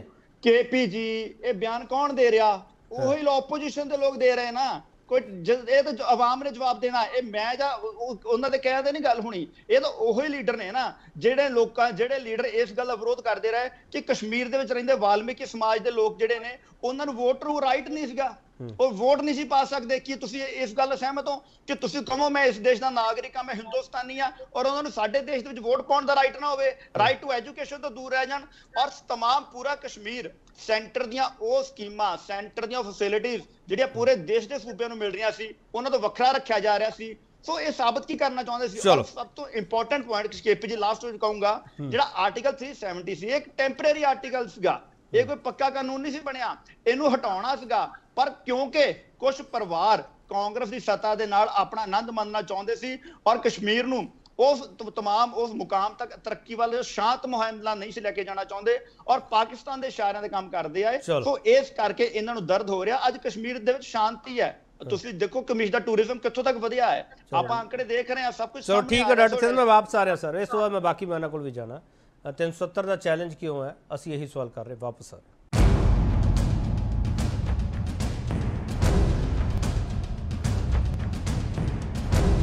मैं चुनौती देता हूं हिंदुस्तान की कोई पॉलिटिकल पार्टी वो तीन सौ सत्तर को वापस लाएंगे ਮੁੜ ਤੋਂ ਤੁਹਾਡਾ ਸਵਾਗਤ ਤੇ ਵੱਡਾ ਸਵਾਲ ਅਸੀਂ ਇਹ ਪੁੱਛ ਰਹੇ ਹਾਂ, ਪ੍ਰਧਾਨ ਮੰਤਰੀ ਮੋਦੀ ਦੀ ਗਿਣਤੀ ਮਿੰਤੀ ਚ 370 ਵਾਲੀ ਚੁਣੌਤੀ ਦੇ ਮਾਇਨੇ ਕੀ ਹੈ ਟੀਨਾ ਚੌਧਰੀ ਅ, ਤੁਸੀਂ ਪ੍ਰਧਾਨ ਮੰਤਰੀ ਦਾ ਚੈਲੰਜ ਕਬੂਲ ਕਰਦੇ ਹੋ ਅਹ ਦੇਖੋ ਚੈਲੰਜ ਤਾਂ ਇਹਨਾਂ ਦਾ ਅਹ ਜੰਮੂ ਕਸ਼ਮੀਰ ਦੇ ਲੋਕਾਂ ਨੇ ਵੀ ਐਕਸੈਪਟ ਕਰਨਾ ਸੀਗਾ ਬਟ ਅੱਜ ਲਦਾਖ ਦੇ ਵਿੱਚ ਦੇਖੋ ਕਿਸ ਤਰ੍ਹਾਂ ਦੇ ਨਾਲ ਉਹਨਾਂ ਨੇ ਲੋਕਾਂ ਨੂੰ ਜਿਹੜਾ ਹੈਗਾ ਅੱਜ ਦੇ ਪ੍ਰਧਾਨ ਮੰਤਰੀ ਜੀ ਨੂੰ ਚੈਲੰਜ ਕਰ ਰਹੇ ਨੇ, ਜਿਨ੍ਹਾਂ ਨੇ ਉਹਨਾਂ ਨੂੰ ਵਾਅਦਾ ਕੀਤਾ ਸੀਗਾ ਜਿਹੜੀਆਂ ਉਹਨਾਂ ਦੀ ਡਿਮਾਂਡਸ ਫੁੱਲਫਿਲ ਕਰਨ ਵਾਸਤੇ। ਅਸੀਂ ਤਾਂ ਹਮੇਸ਼ਾ ਤਿਆਰ ਹੀ ਬੈਠੇ ਹਾਂ ਇਸ ਚੀਜ਼ ਨੂੰ ਲੈ ਕੇ ਬਟ ਇਸ ਤਰ੍ਹਾਂ ਦੀ ਤਾਨਾਸ਼ਾਹੀ ਕਦੀ ਕਿਸੇ ਸਰਕਾਰ ਦੇ ਵਿੱਚ ਨਹੀਂ ਦੇਖੀ। ਕਾਂਗਰਸ ਪਾਰਟੀ ਦੀ ਆਈਡੀਓਲੋਜੀ ਕੁਝ ਹੋਰ ਹੈਗੀ ਹੈ। ਜਿਸ ਤਰ੍ਹਾਂ ਅਸੀਂ ਸਾਰੇ ਜਾਣਦੇ ਹਾਂ 370 ਦੇ ਆਰਟੀਕਲ ਦੇ ਵਿੱਚ ਜੰਮੂ ਕਸ਼ਮੀਰ ਤੋਂ ਲੈ ਕੇ ਲਦਾਖ ਤੱਕ ਇਹ ਸਾਰੇ ਏਰੀਆਜ਼ ਨੂੰ ਵੰਡਿਆ ਗਿਆ ਸੀਗਾ, ਜਿਹਦੇ ਵਿੱਚ 57% ਦਾ ਏਰੀਆ ਜਿਹੜਾ ਸੀਗਾ ਇੰਡੀਆ ਦੇ ਕੋਲ ਸੀਗਾ ਔਰ ਇਹਨਾਂ ਨੂੰ ਰਾਈਟ ਸੀਗਾ ਕਿ ਇਹ ਆਪਣਾ ਕਨਸਟੀਟਿਊਸ਼ਨ ਆਪ ਬਣਾ ਸਕਦੇ ਨੇ, ਕਿਉਂਕਿ ਬਾਰਡਰ ਸਿਕਿਉਰਿਟੀ ਏਰੀਆਜ਼ ਹੈਗੇ ਆ ਕਾਫੀ ਸਾਰਾ ਐਮਰਜੈਂਸੀਜ਼ ਏਰੀਆਜ਼ ਵੀ ਉੱਥੇ ਪਾਏ ਜਾਂਦੇ ਨੇ, ਜਿਹਦੇ ਕਰਕੇ ਹੋਰ ਵੀ ਕਈ ਸਾਰੇ ਰੀਜ਼ਨਸ ਹੈਗੇ ਆ 15% ਚਾਈਨਾ ਕੋਲ ਏਰੀਆ ਹੈਗਾ, ਉਸ ਤੋਂ ਬਾਅਦ ਪਾਕਿਸਤਾਨ ਆਕੂਪਾਈਡ ਕਸ਼ਮੀਰ ਏਰੀਆ ਵੀ ਉਹਦੇ ਕੁਝ ਪਰਸੈਂਟੇਜ ਉਹਨਾਂ ਦੇ ਅੰਡਰ ਵੀ ਆਉਂਦੀ ਹੈ। ਲੇਕਿਨ ਅੱਜ ਕੀ ਦੇਖ ਸਕਦੇ ਹਾਂ? ਤਾਨਾਸ਼ਾਹੀ ਕੀਤੀ ਗਈ ਭਾਜਪਾ ਸਰਕਾਰ ਵੱਲੋਂ। 370 ਹਟਾਈ ਕਿਸ ਤਰ੍ਹਾਂ ਗਈ? ਇਹ ਕੀ ਕੀਤਾ ਗਿਆ? ਕੀ ਵਾਅਦੇ ਕੀਤੇ ਗਏ ਸੀ ਇੱਥੇ? ਇੱਥੇ ਸਭ ਤੋਂ ਪਹਿਲਾਂ ਤਾਂ ਇਹ ਜ਼ਾਹਿਰ ਹੁੰਦਾ ਕਿ ਜਦੋਂ 370 ਹਟਾਣੀ ਸੀ, ਸਭ ਤੋਂ ਪਹਿਲਾਂ ਤਾਂ ਮੋਦੀ ਗਵਰਨਮੈਂਟ ਨੇ ਉੱਥੇ ਇਹ ਸਾਰੇ ਜਗ੍ਹਾ ਗੱਲਾਂ ਫੈਲਾਈਆਂ, ਸਾਰੀ ਜਗ੍ਹਾ ਇਹ ਅਨਾਉਂਸਮੈਂਟਸ ਕਰਵਾਈਆਂ ਕਿ ਇੱਥੇ ਹੁਣ ਉਗਰਵਾਦੀਆਂ ਦੇ ਜਿਹੜਾ ਹੈਗਾ, ਆਤੰਕਵਾਦੀਆਂ ਦੇ ਹਮਲਾ ਕਰਨ ਦੀ ਜਿਹੜੀ ਆਸ਼ੰਕਾ ਹੈਗੀ ਹੈ, ਜਿਹਦੇ ਕਰਕੇ ਅਸੀਂ ਹੁਣ ਇੱਥੇ 10000 ਤੋਂ ਜ਼ਿਆਦਾ ਮਿਲਟਰੀ ਫੋਰਸਸ ਨੂੰ ਇੱਥੇ ਤਾਇਨਾਤ ਕਰ ਰਹੇ ਹਾਂ। ਉੱਥੋਂ ਦੀ ਜਿਹੜੀ ਗਵਰਨਮੈਂਟ ਸੀਗੀ ਉਹਨੂੰ ਖਤਮ ਕਰਨ ਦੀ ਕੋਸ਼ਿਸ਼ਾਂ ਕੀਤੀ ਗਈਆਂ ਪ੍ਰੈਜ਼ੀਡੈਂਟ ਰੂਲ ਲਗਾ ਦਿੱਤਾ ਗਿਆ। ਲੇਕਿਨ ਜਿਹੜਾ ਵਾਅਦਾ ਕੀਤਾ ਸੀਗਾ ਵਿਧਾਨ ਸਭਾ ਅਸੈਂਬਲੀ ਲਿਆ ਕੇ ਜਿਹੜਾ ਕਿ ਹੁਣ ਇਹਨਾਂ ਨੇ ਯੂਟੀ ਦੇ ਵਿੱਚ ਉਹਨਾਂ ਨੂੰ ਟ੍ਰਾਂਸਫਰ ਕਰ ਦਿੱਤਾ ਸਿੱਧਾ ਦਾ ਸਿੱਧਾ ਇਹ ਉੱਥੇ ਡੈਮੋਕ੍ਰੇਸੀ ਨੂੰ ਖਤਮ ਕਰਨ ਦੀਆਂ ਕੋਸ਼ਿਸ਼ਾਂ ਕੀਤੀਆਂ ਗਈਆਂ ਜਿੱਥੇ ਸਟੇਟ ਦਾ ਕੋਈ ਪੱਖ ਹੀ ਨਾ ਤੁਹਾਡੀਆਂ ਦੋ ਸਟੇਟਮੈਂਟ ਆ ਟੀਨਾ ਚੌਧਰੀ ਮੈਂ ਨੋਟ ਕਰ ਲਈਆਂ। ਇੱਕ ਤੁਸੀਂ ਕਿਹਾ ਤਾਨਾਸ਼ਾਹੀ ਇੱਕ ਤੁਸੀਂ ਕਿਹਾ ਡੈਮੋਕ੍ਰੇਸੀ ਨੂੰ ਖਤਮ ਕਰਨ ਦੀ ਸਾਜ਼ਿਸ਼ ਹੈ। ਟੀਨਾ ਚੌਧਰੀ ਤੁਸੀਂ ਤਾਨਾਸ਼ਾਹ ਕੋ ਇਹਨਾਂ ਨੂੰ ਡੈਮੋਕ੍ਰੇਸੀ ਖਤਮ ਕਰਨ ਵਾਲੇ ਕੋ ਜੋ ਮਰਜ਼ੀ ਕੋ ਤੁਸੀਂ ਆਪਣਾ ਸਟੈਂਡ ਕਿਉਂ ਨਹੀਂ ਦੱਸਦੇ? ਪ੍ਰਧਾਨ ਮੰਤਰੀ ਨੇ ਸਿੱਧਾ ਸਿੱਧਾ ਤੁਹਾਨੂੰ ਚੈਲੰਜ ਇਹ ਕੀਤਾ ਹੈ ਕਿ 370 ਵਾਪਸ ਲਿਆ ਸਕੋਗੇ ਤੁਸੀਂ? ਦੇਖੋ ਬਿਲਕੁਲ ਇਹ ਹੋ ਸਕਦਾ ਇਹ ਪੋਸੀਬਲ ਹੈਗਾ ਔਰ ਇਹ ਹੋਣਾ ਵੀ ਚਾਹੀਦਾ। ਕਿਉਂਕਿ ਇਸ ਤਰੀਕੇ ਦੇ ਨਾਲ ਹੁਣ ਜੋ ਉੱਥੇ ਮਾਹੌਲ ਜਿਹੜੇ ਪੈਦਾ ਹੋਏ ਆ ਅਸੀਂ ਤਾਂ ਕਹਿ ਰਹੇ ਹਾਂ ਕਿ ਅਸੀਂ ਵਾਪਸ ਲਿਆਵਾਂਗੇ। ਉਹ ਲਿਆਣਾ ਵੀ ਚਾਹੀਦਾ ਕਿਉਂਕਿ ਹੁਣ ਕੋਈ ਡਿਵੈਲਪਮੈਂਟ ਤਾਂ ਕੋਈ ਦੇਖਣ ਨੂੰ ਮਿਲ ਨਹੀਂ। ਰਹੀ ਔਰ ਹਰ ਸੂਬੇ ਨੂੰ ਆਪਣਾ ਆਪਣਾ ਹੱਕ ਹੈ ਆਪਣੇ ਲੋਕਾਂ ਦੀ ਆਵਾਜ਼ ਚੁੱਕਣ ਵਾਸਤੇ। ਤੁਸੀਂ ਚੈਲੰਜ ਤੁਸੀਂ ਚੈਲੰਜ ਐਕਸੈਪਟ ਕਰ ਰਹੇ ਹੋ ਜਾਂ ਇਹਨੂੰ ਜਿਵੇਂ ਡਾਕਟਰ ਖਾਲਿਦ ਕਹਿ ਰਿਹਾ ਪ੍ਰਵੋਕ ਕੀਤਾ ਜਾ ਰਿਹਾ ਤੁਸੀਂ ਇਹਨੂੰ ਪ੍ਰਵੋਕ ਮੰਨਦੇ ਹੋ। ਅਸੀਂ ਐਕਸੈਪਟ ਕਰਨ ਨੂੰ ਤਿਆਰ ਹਾਂ ਇਹ ਚੀਜ਼ਾਂ ਤੇ ਹੋਣੀਆਂ ਨਹੀਂ ਚਾਹੀਦੀਆਂ ਸੀਗੀਆਂ ਉੱਥੇ। ਲੇਕਿਨ ਜੇ ਅੱਜ ਕੀਤੀਆਂ ਗਈਆਂ ਵੀ ਉਹ ਵੀ ਡਿਕਟੇਟਰਸ਼ਿਪ ਤਾਨਾਸ਼ਾਹੀ ਦੇ ਨਾਲ ਜਿਹੜਾ ਕਿ ਇਸ ਤਰ੍ਹਾਂ ਸਾਨੂੰ ਸੰਵਿਧਾਨ ਸਾਨੂੰ ਇਹ ਚੀਜ਼ਾਂ ਨਹੀਂ ਰਹਿੰਦ ਕਹਿੰਦਾ ਕਿ ਅਸੀਂ ਅਸੰਵਿਧਾਨ ਤਰੀਕੇ ਦੇ ਨਾਲ ਅਸੀਂ ਹਰ ਸਟੇਟ ਦੇ ਉੱਤੇ ਕਬਜ਼ਾ ਕਰਨ ਦੀਆਂ ਕੋਸ਼ਿਸ਼ਾਂ ਕਰ ਲਈਏ। ਲੋਕਲ ਗਵਰਨਮੈਂਟ ਨੂੰ ਇੱਕ second sir local KP sahib ਜਦੋਂ ਇਹ ਤ- 370 ਹਟਾਈ ਗਈ ਸੀ ਇਹ ਤਰੀਕੇ ਕੀ ਸੀ? ਨਾ ਹੀ ਕਿਸੇ ਲੋਕਲ ਕਿਸੇ ਬੰਦੇ ਲੋਕਾਂ ਨੂੰ ਪੁੱਛਿਆ ਗਿਆ ਨਾ ਹੀ ਕਿਸੇ ਉੱਥੇ ਪ੍ਰੈਜ਼ੈਂਟ ਗਵਰਨਮੈਂਟ ਨੂੰ ਪੁੱਛਿਆ ਗਿਆ ਕਿ ਕਿਸ ਤਰ੍ਹਾਂ ਦੇ ਡਿਸੀਜਨ ਲੈਣੇ ਚਾਹੀਦੇ। ਬਿਨਾਂ ਉਹਨਾਂ ਦੀ ਮਨਜ਼ੂਰੀ ਤੋਂ ਇਹ ਸਾਰੀ ਤਾਨਾਸ਼ਾਹੀ ਉੱਥੇ ਚਲਾਈ ਗਈ। ਲੇਕਿਨ ਇਹ ਇਹ ਸਾਰੀਆਂ ਚੀਜ਼ਾਂ ਕਿੱਥੇ ਜਾ ਕੇ ਨਿਕਲਦੀਆਂ ਕਿ ਸਾਫ਼ ਤੌਰ ਤੇ ਇਹ ਜ਼ਾਹਿਰ ਹੁੰਦਾ ਹੈਗਾ ਕਿ ਇਹ ਚਾਹੁੰਦੇ ਸੀਗੇ ਕਿ ਇਸ ਚੀਜ਼ ਨੂੰ ਯੂਟੀ ਦੇ ਅੰਡਰ ਲਿਆ ਕੇ ਸਿੱਧਾ ਸਿੱਧਾ ਸੈਂਟਰ ਗਵਰਨਮੈਂਟ ਉੱਥੇ ਆਪਣੀ ਡਿਕਟੇਟਰਸ਼ਿਪ ਚਲਾ ਸਕੇ। ਤਾਂ ਕਿ ਇੱਥੇ ਪ੍ਰਾਈਵੇਟਾਈਜੇਸ਼ਨ ਨੂੰ ਬੜੋਤਰੀ ਵੀ ਦੇ ਸਕੇ ਔਰ ਲੋਕਲ ਦੀਆਂ ਜਿਹੜੀਆਂ ਉਮੀਦਾਂ ਨੇ ਉਹ ਤੇ ਪਾਣੀ ਫਿਰ ਸਕੇ। ਪ੍ਰਧਾਨ ਮੰਤਰੀ- ਪ੍ਰਧਾਨ ਮੰਤਰੀ ਕਹਿ ਰਹੇ ਆ ਹਿੱਸਾ ਟੀਨਾ ਉਹ ਵੀ ਚੌਧਰੀ। ਪ੍ਰਧਾਨ ਮੰਤਰੀ ਕਹ ਰਹੇ ਵਿਕਾਸ ਤੇ ਵਿਰਾਸਤ ਦੋਨਾਂ ਦੇ ਵਿਰੋਧੀ ਹੋ ਤੁਸੀਂ। ਨਹੀਂ ਵਿਕਾਸ ਕਰਨਾ ਪਰ ਦੇਖੋ ਸਰ ਕੋਈ ਵੀ ਗਵਰਨਮੈਂਟ ਚੱਲਦੀ ਹੈ ਕੇਪੀ ਸਾਹਿਬ ਉਹ ਪਾਲਿਸੀਜ਼ ਦੇ ਹਿਸਾਬ ਨਾਲ ਚੱਲਦੀ ਹੈ ਰੂਲਸ ਰੈਗੂਲੇਸ਼ਨ ਔਰ ਐਕਟ ਦੇ ਹਿਸਾਬ ਨਾਲ ਚੱਲਦੀ ਹੈ। ਇਹਦਾ ਮਤਲਬ ਇਹ ਨਹੀਂ ਹੈ ਕਿ ਮੇਰਾ ਦਿਲ ਜੋ ਕਰੇਗਾ ਤੇ ਮੈਂ ਉਹੀ ਕਰੀ ਜਾਵਾਂ। ਕਿੱਥੇ ਚਲੋ। ਗਈਆਂ ਪਾਲਿਸੀਜ਼ ਕਨਸਟੀਟਿਊਸ਼ਨ ਇੰਡੀਅਨ ਕਨਸਟੀਟਿਊਸ਼ਨ ਕਿੱਥੇ ਗਏ ਉਹਦੇ ਹਿਸਾਬ ਨਾਲ ਚਲੋ ਜੇ ਚੱਲਣਾ ਚਲੋ ਚਾਹੁੰਦੇ ਠੀਕ ਠੀਕ ਹੈ ਟੀਨਾ ਚੌਧਰੀ ਇੱਕ- ਮਿੰਟ ਰੁਕ ਜਾਓ ਅਕਾਲੀ। ਅਕਾਲੀ ਦਲ ਨੂੰ ਵਿੱਚ ਜੋੜ ਲਵਾਂ ਮੈਂ। ਮਿਸਟਰ ਮਠਾੜੂ ਉਹ ਤੁਸੀਂ ਨਾਲ ਸੀਗੇ ਜਦੋਂ ਆਰਟੀਕਲ 370 ਦਾ ਸਾਰਾ ਡਿਸੀਜਨ ਹੋਇਆ ਮਠਾੜੂ ਸਾਹਿਬ। ਹੁਣ ਤਾਂ ਉਹ ਸਿੱਧਾ ਸਿੱਧਾ ਚੈਲੰਜ ਕਰਦੇ ਪਿਆ ਦੇਸ਼ ਦੀਆਂ ਸਾਰੀਆਂ ਪੋਲੀਟੀਕਲ ਪਾਰਟੀਆਂ ਨੂੰ ਜਿਹੜੀਆਂ ਆਪੋਜੀਸ਼ਨ 'ਚ ਬੈਠੀਆਂ।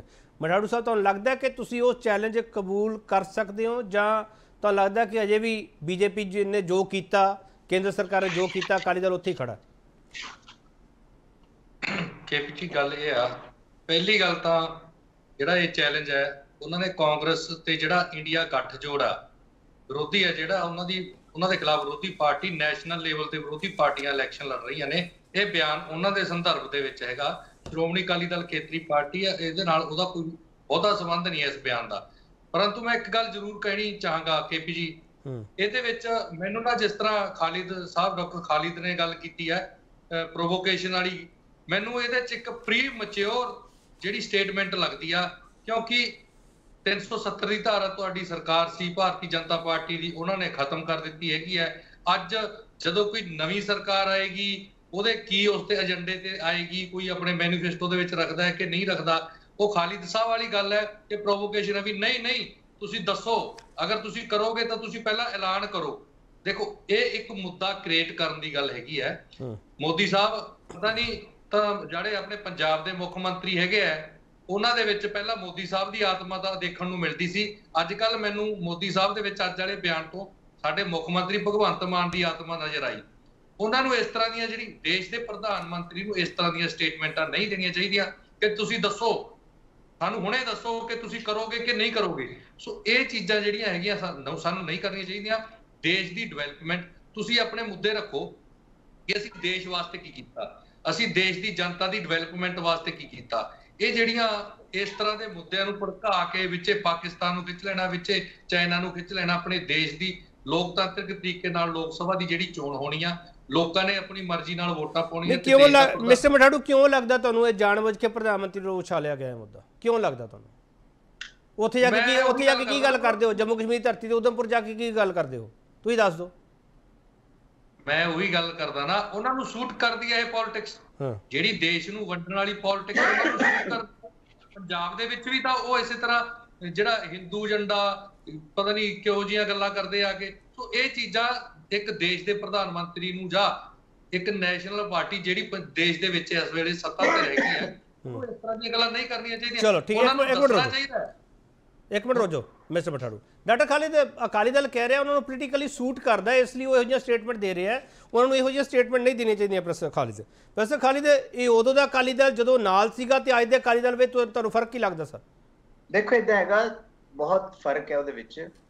ਜਿਸ ਵੇਲੇ ਆਰਟੀਕਲ 370 ਖਤਮ ਕੀਤੀ ਗਈ ਹੈ ਤਾਂ ਉਹਨਾਂ ਨੂੰ ਅਕਾਲੀ ਦਲ ਵੱਲੋਂ ਮੁਬਾਰਕਬਾਦ ਵੀ ਦਿੱਤੀ ਗਈ ਔਰ ਉਹ- ਉਹਦੇ ਵੱਲੋਂ ਹੀ ਨਹੀਂ ਆਮ ਆਦਮੀ ਪਾਰਟੀ ਵੱਲੋਂ ਵੀ ਇਹ ਕਿਹਾ ਗਿਆ ਕਿ ਠੀਕ ਹੈ। ਹਾਲਾਂਕਿ ਸਾਰੀ ਪੋਲੀਟੀਕਲ ਪਾਰਟੀਆਂ ਇਹ ਕਹਿ ਰਹੀਆਂ ਸੀਗੀਆਂ ਕਿ ਫੈਡਰਲ ਸਟਰਕਚਰ ਦੇ ਉੱਪਰ ਇੱਕ ਬਹੁਤ ਵੱਡਾ ਆਘਾਤ ਹੈ। ਤੁਸੀਂ ਬਿਨਾ ਯਾਨੀ ਅਸੈਂਬਲੀ ਭੰਗ ਹੋਈ ਹੋਈ ਹੈ ਉਹ ਉਸ ਤੋਂ ਬਾਅਦ ਜਿਹੜਾ ਗਵਰਨਰ ਹੈ ਗਵਰਨਰ ਨੂੰ ਹੀ ਅਸੈਂਬਲੀ ਮੰਨ ਕੇ ਉਹ ਤੋਂ ਰეკਮੈਂਡੇਸ਼ਨ ਲੈ ਲੈਣੀ ਉਸ ਰეკਮੈਂਡੇਸ਼ਨ ਦੇ ਬੇਸ ਤੇ ਆਰਟੀਕਲ 370 ਨੂੰ ਖਤਮ ਕਰਨਾ। ਇੱਕ ਚੀਜ਼ ਇਹ ਕਿਹਾ ਜਾਂਦਾ ਜਿਹੜਾ ਡਿਵਿਜ਼ਿਵ ਗੱਲ ਹੈਗੀ ਆ ਦੇਖੋ ਇੰਡੀਆ ਦੇ ਵਿੱਚ ਦੋ ਹੀ ਜਗ੍ਹਾ ਐਸੀ ਹੈ ਜਿਹੜੇ ਮੁਸਲਿਮ ਮੈਜੋਰਟੀ ਹੈ। ਓਵਰਵੈਲਮਿੰਗ ਮੈਜੋਰਟੀ ਲਕਸ਼ਦੀਪ ਹੈ ਔਰ ਜੰਮੂ ਐਂਡ ਕਸ਼ਮੀਰ ਹੈ। ਕਸ਼ਮੀਰ ਵੈਲੀ ਖਾਸ ਤੌਰ ਦੇ ਉੱਪਰ। ਉਹ ਕਿਸੇ ਤਰੀਕੇ ਦੇ ਨਾਲ ਜਿਹੜੀ ਹੈਗੀ ਹੈ ਕਬਜ਼ੇ 'ਚ ਲੈਤੀ ਜਾਵੇ ਉਹਦਾ ਇੱਕੋ ਹੀ ਤਰੀਕਾ ਹੈਗਾ ਕਿ ਉੱਥੇ ਦੀ ਜਿਹੜੀ ਲੋਕਲ ਲੀਡਰਸ਼ਿਪ ਹੈ ਉਹਨੂੰ ਪਛਾੜ ਕੇ ਉੱਥੇ ਡਾਇਰੈਕਟ ਰਾਜ ਸਥਾਪਿਤ ਕੀਤਾ ਜਾਵੇ। ਉਹ ਡਾਇਰੈਕਟ ਰਾਜ ਚੱਲ ਰਿਹਾ 19 2019 ਤੋਂ 4 ਸਾਲ ਹੋ ਗਏ। ਉੱਥੇ ਡਾਇਰੈਕਟ ਸੈਂਟਰ ਗਵਰਨਮੈਂਟ ਦਾ ਯਾਨੀ ਕਿ ਬੀਜੇਪੀ ਦਾ ਗਵਰਨਰ ਦੇ ਥਰੂ ਰਾਜ ਜਿਹੜਾ ਹੈਗਾ ਚੱਲ ਰਿਹਾ। ਜਿਹਦੀ ਵਜ੍ਹਾ ਕਰਕੇ ਕੀ ਹੈ, ਉੱਥੇ ਦੇ ਜਿਹੜੇ ਡੈਮੋਕ੍ਰੈਟਿਕ ਇਥੋਸ ਹੈ ਉਹ ਸਾਰਾ ਖਤਮ ਹੋ ਰਿਹਾ। ਹੈ ਡੈਮੋਕ੍ਰੈਟਿਕ ਕਰੈਕਟਰ ਖਤਮ ਹੋ ਰਿਹਾ। ਔਰ ਪਹਿਲੀ ਵਾਰ ਹੈ ਕਿ ਇੰਡੀਆ ਦੀ ਇੰਡੀਪੈਂਡੈਂਟ ਹਿਸਟਰੀ ਦੇ ਵਿੱਚ ਕਿ ਕਿਸੇ ਸਟੇਟ ਨੂੰ ਡਿਮੋਟ ਕਰਕੇ ਯੂਟੀ ਦਾ ਦਰਜਾ ਦਿੱਤਾ ਗਿਆ ਹੋਵੇ। ਪਹਿਲੀ ਵਾਰ ਹੈ। ਯੂਟੀਆਂ ਜਿਹੜੀਆਂ ਹੈਗੀਆਂ, ਉਹ ਤਾਂ ਪ੍ਰਮੋਟ ਕਰਕੇ ਸਟੇਟ ਬਣਾਈਆਂ ਗਈਆਂ। ਲੇਕਿਨ ਉਸ ਤੋਂ ਬਾਅਦ ਉਹਦੇ ਤਿੰਨ ਟੁਕੜੇ ਕਰ ਦਿੱਤੇ ਗਏ ਹੁਣ। ਉਹਦੇ ਵਿੱਚ ਜਿਹੜਾ ਲੱਦਾਖ ਹੈ, ਲੱਦਾਖ ਦੇ ਵਿੱਚ ਇਸ ਵੇਲੇ ਜਿਸ ਤਰ੍ਹਾਂ ਦਾ ਉੱਥੇ ਮਰਨ ਵਰਤ ਤੱਕ ਚੱਲ ਰਹੇ ਹੈ ਜਿਹੜਾ ਉਹਨਾਂ ਨੂੰ ਵਾਅਦੇ ਕੀਤੇ ਗਏ ਸੀਗੇ, ਪੂਰੇ ਨਹੀਂ ਹੋ ਰਹੇ ਹੈ। ਸ਼ੈਡਿਊਲ 6 ਦਾ ਪਾਰਟ ਉਹਨੂੰ ਨਹੀਂ ਬਣਾਇਆ ਜਾ ਰਿਹਾ। ਉਹ ਸਾਰੀਆਂ ਚੀਜ਼ਾਂ ਜਿਹੜੀਆਂ ਹੈਗੀਆਂ ਉਹ ਦੇਖਣ ਤੇ ਬਾਅਦ ਹੀ ਓਵਰਆਲ ਸਿਨੈਰੀਓ ਪਤਾ ਲੱਗੇਗਾ ਕਿ ਲੱਦਾਖ ਦੀ ਪੋਲਿਟਿਕਸ ਇਸ ਵੇਲੇ ਕੀ ਹੈ ਕਸ਼ਮੀਰ ਦੀ ਪੋਲਿਟਿਕਸ ਕੀ ਹੈ ਜੰਮੂ ਦੀ ਪੋਲਿਟਿਕਸ ਕੀ ਹੈ ਔਰ ਸੈਂਟਰ ਕੀ ਚਾਹੁੰਦਾ ਹੈ ਔਰ ਲੋਕਲ ਲੀਡਰਸ਼ਿਪ ਕੀ ਚਾਹੁੰਦੀ ਹੈ। ਠੀਕ ਠੀਕ ਹੈ ਸਰ ਮੈਂ ਵਾਪਸ ਆਉਂਗਾ ਇੱਕ ਛੋਟਾ ਬ੍ਰੇਕ ਲੈ ਕੇ ਵਾਪਸ ਆ ਰਹੇ ਆ ਉੱਥੇ ਜਿਹੜੀਆਂ ਪਾਰਟੀਆਂ ਹੈਗੀਆਂ ਨੈਸ਼ਨਲ ਕਾਨਫਰੰਸ ਪੀਡੀਪੀ ਤੇ ਹੋਰ ਜਿਹੜੀਆਂ ਉੱਥੇ ਧਿਰਾਂ ਹੈਗੀਆਂ ਉਹਨਾਂ ਦੇ ਬਾਰੇ ਪ੍ਰਧਾਨ ਮੰਤਰੀ ਨੇ ਵੀ ਕਿਹਾ ਕਿ ਇਹਨਾਂ ਨੇ ਜਿੰਨਾ ਨੁਕਸਾਨ ਵਾਦੀ ਦਾ ਕੀਤਾ, ਜੰਮੂ ਕਸ਼ਮੀਰ ਦਾ ਕੀਤਾ, ਕਿਸੇ ਧਿਰ ਨੇ ਨਹੀਂ ਕੀਤਾ ਗਾ। ਤੇ ਉਹ ਜੰਮੂ ਕਸ਼ਮੀਰ ਨੂੰ ਵਿਕਾਸ ਜਾਂ ਲੀਹਾਂ ਤੇ ਨਹੀਂ ਜਾਣ ਦੇਣਾ ਚਾਹੁੰਦੇ ਸੀ ਆਰਟੀਕਲ 370 ਦਾ ਜ਼ਿਕਰ ਜਦੋਂ ਹੁੰਦਾ ਤੇ ਉਦੋਂ ਡਿਬੇਟ ਹੈ ਜਿਹੜੀ ਹੋਰ ਵੱਡੀ ਹੋ ਜਾਂਦੀ ਹੈ। ਜਦੋਂ ਅਕਾਲੀ ਦਲ ਇਹ ਕਹਿੰਦਾ ਇਹੋ ਜਿਹੀ ਸਟੇਟਮੈਂਟ ਨਹੀਂ ਦੇਣੀ ਚਾਹੀਦੀ, ਤੇ ਅਕਾਲੀ ਦਲ ਉਦੋਂ ਕਿੱਥੇ ਸੀਗਾ? ਸਵਾਲ ਇਹ ਵੀ ਹੈ ਤੇ ਇੱਕ ਡਾਕਟਰ ਖਾਲੀ ਨੇ ਇਸ ਦਾ ਜਵਾਬ ਵੀ ਦਿੱਤਾ, ਵਾਪਸ ਆ ਰਿਹਾ।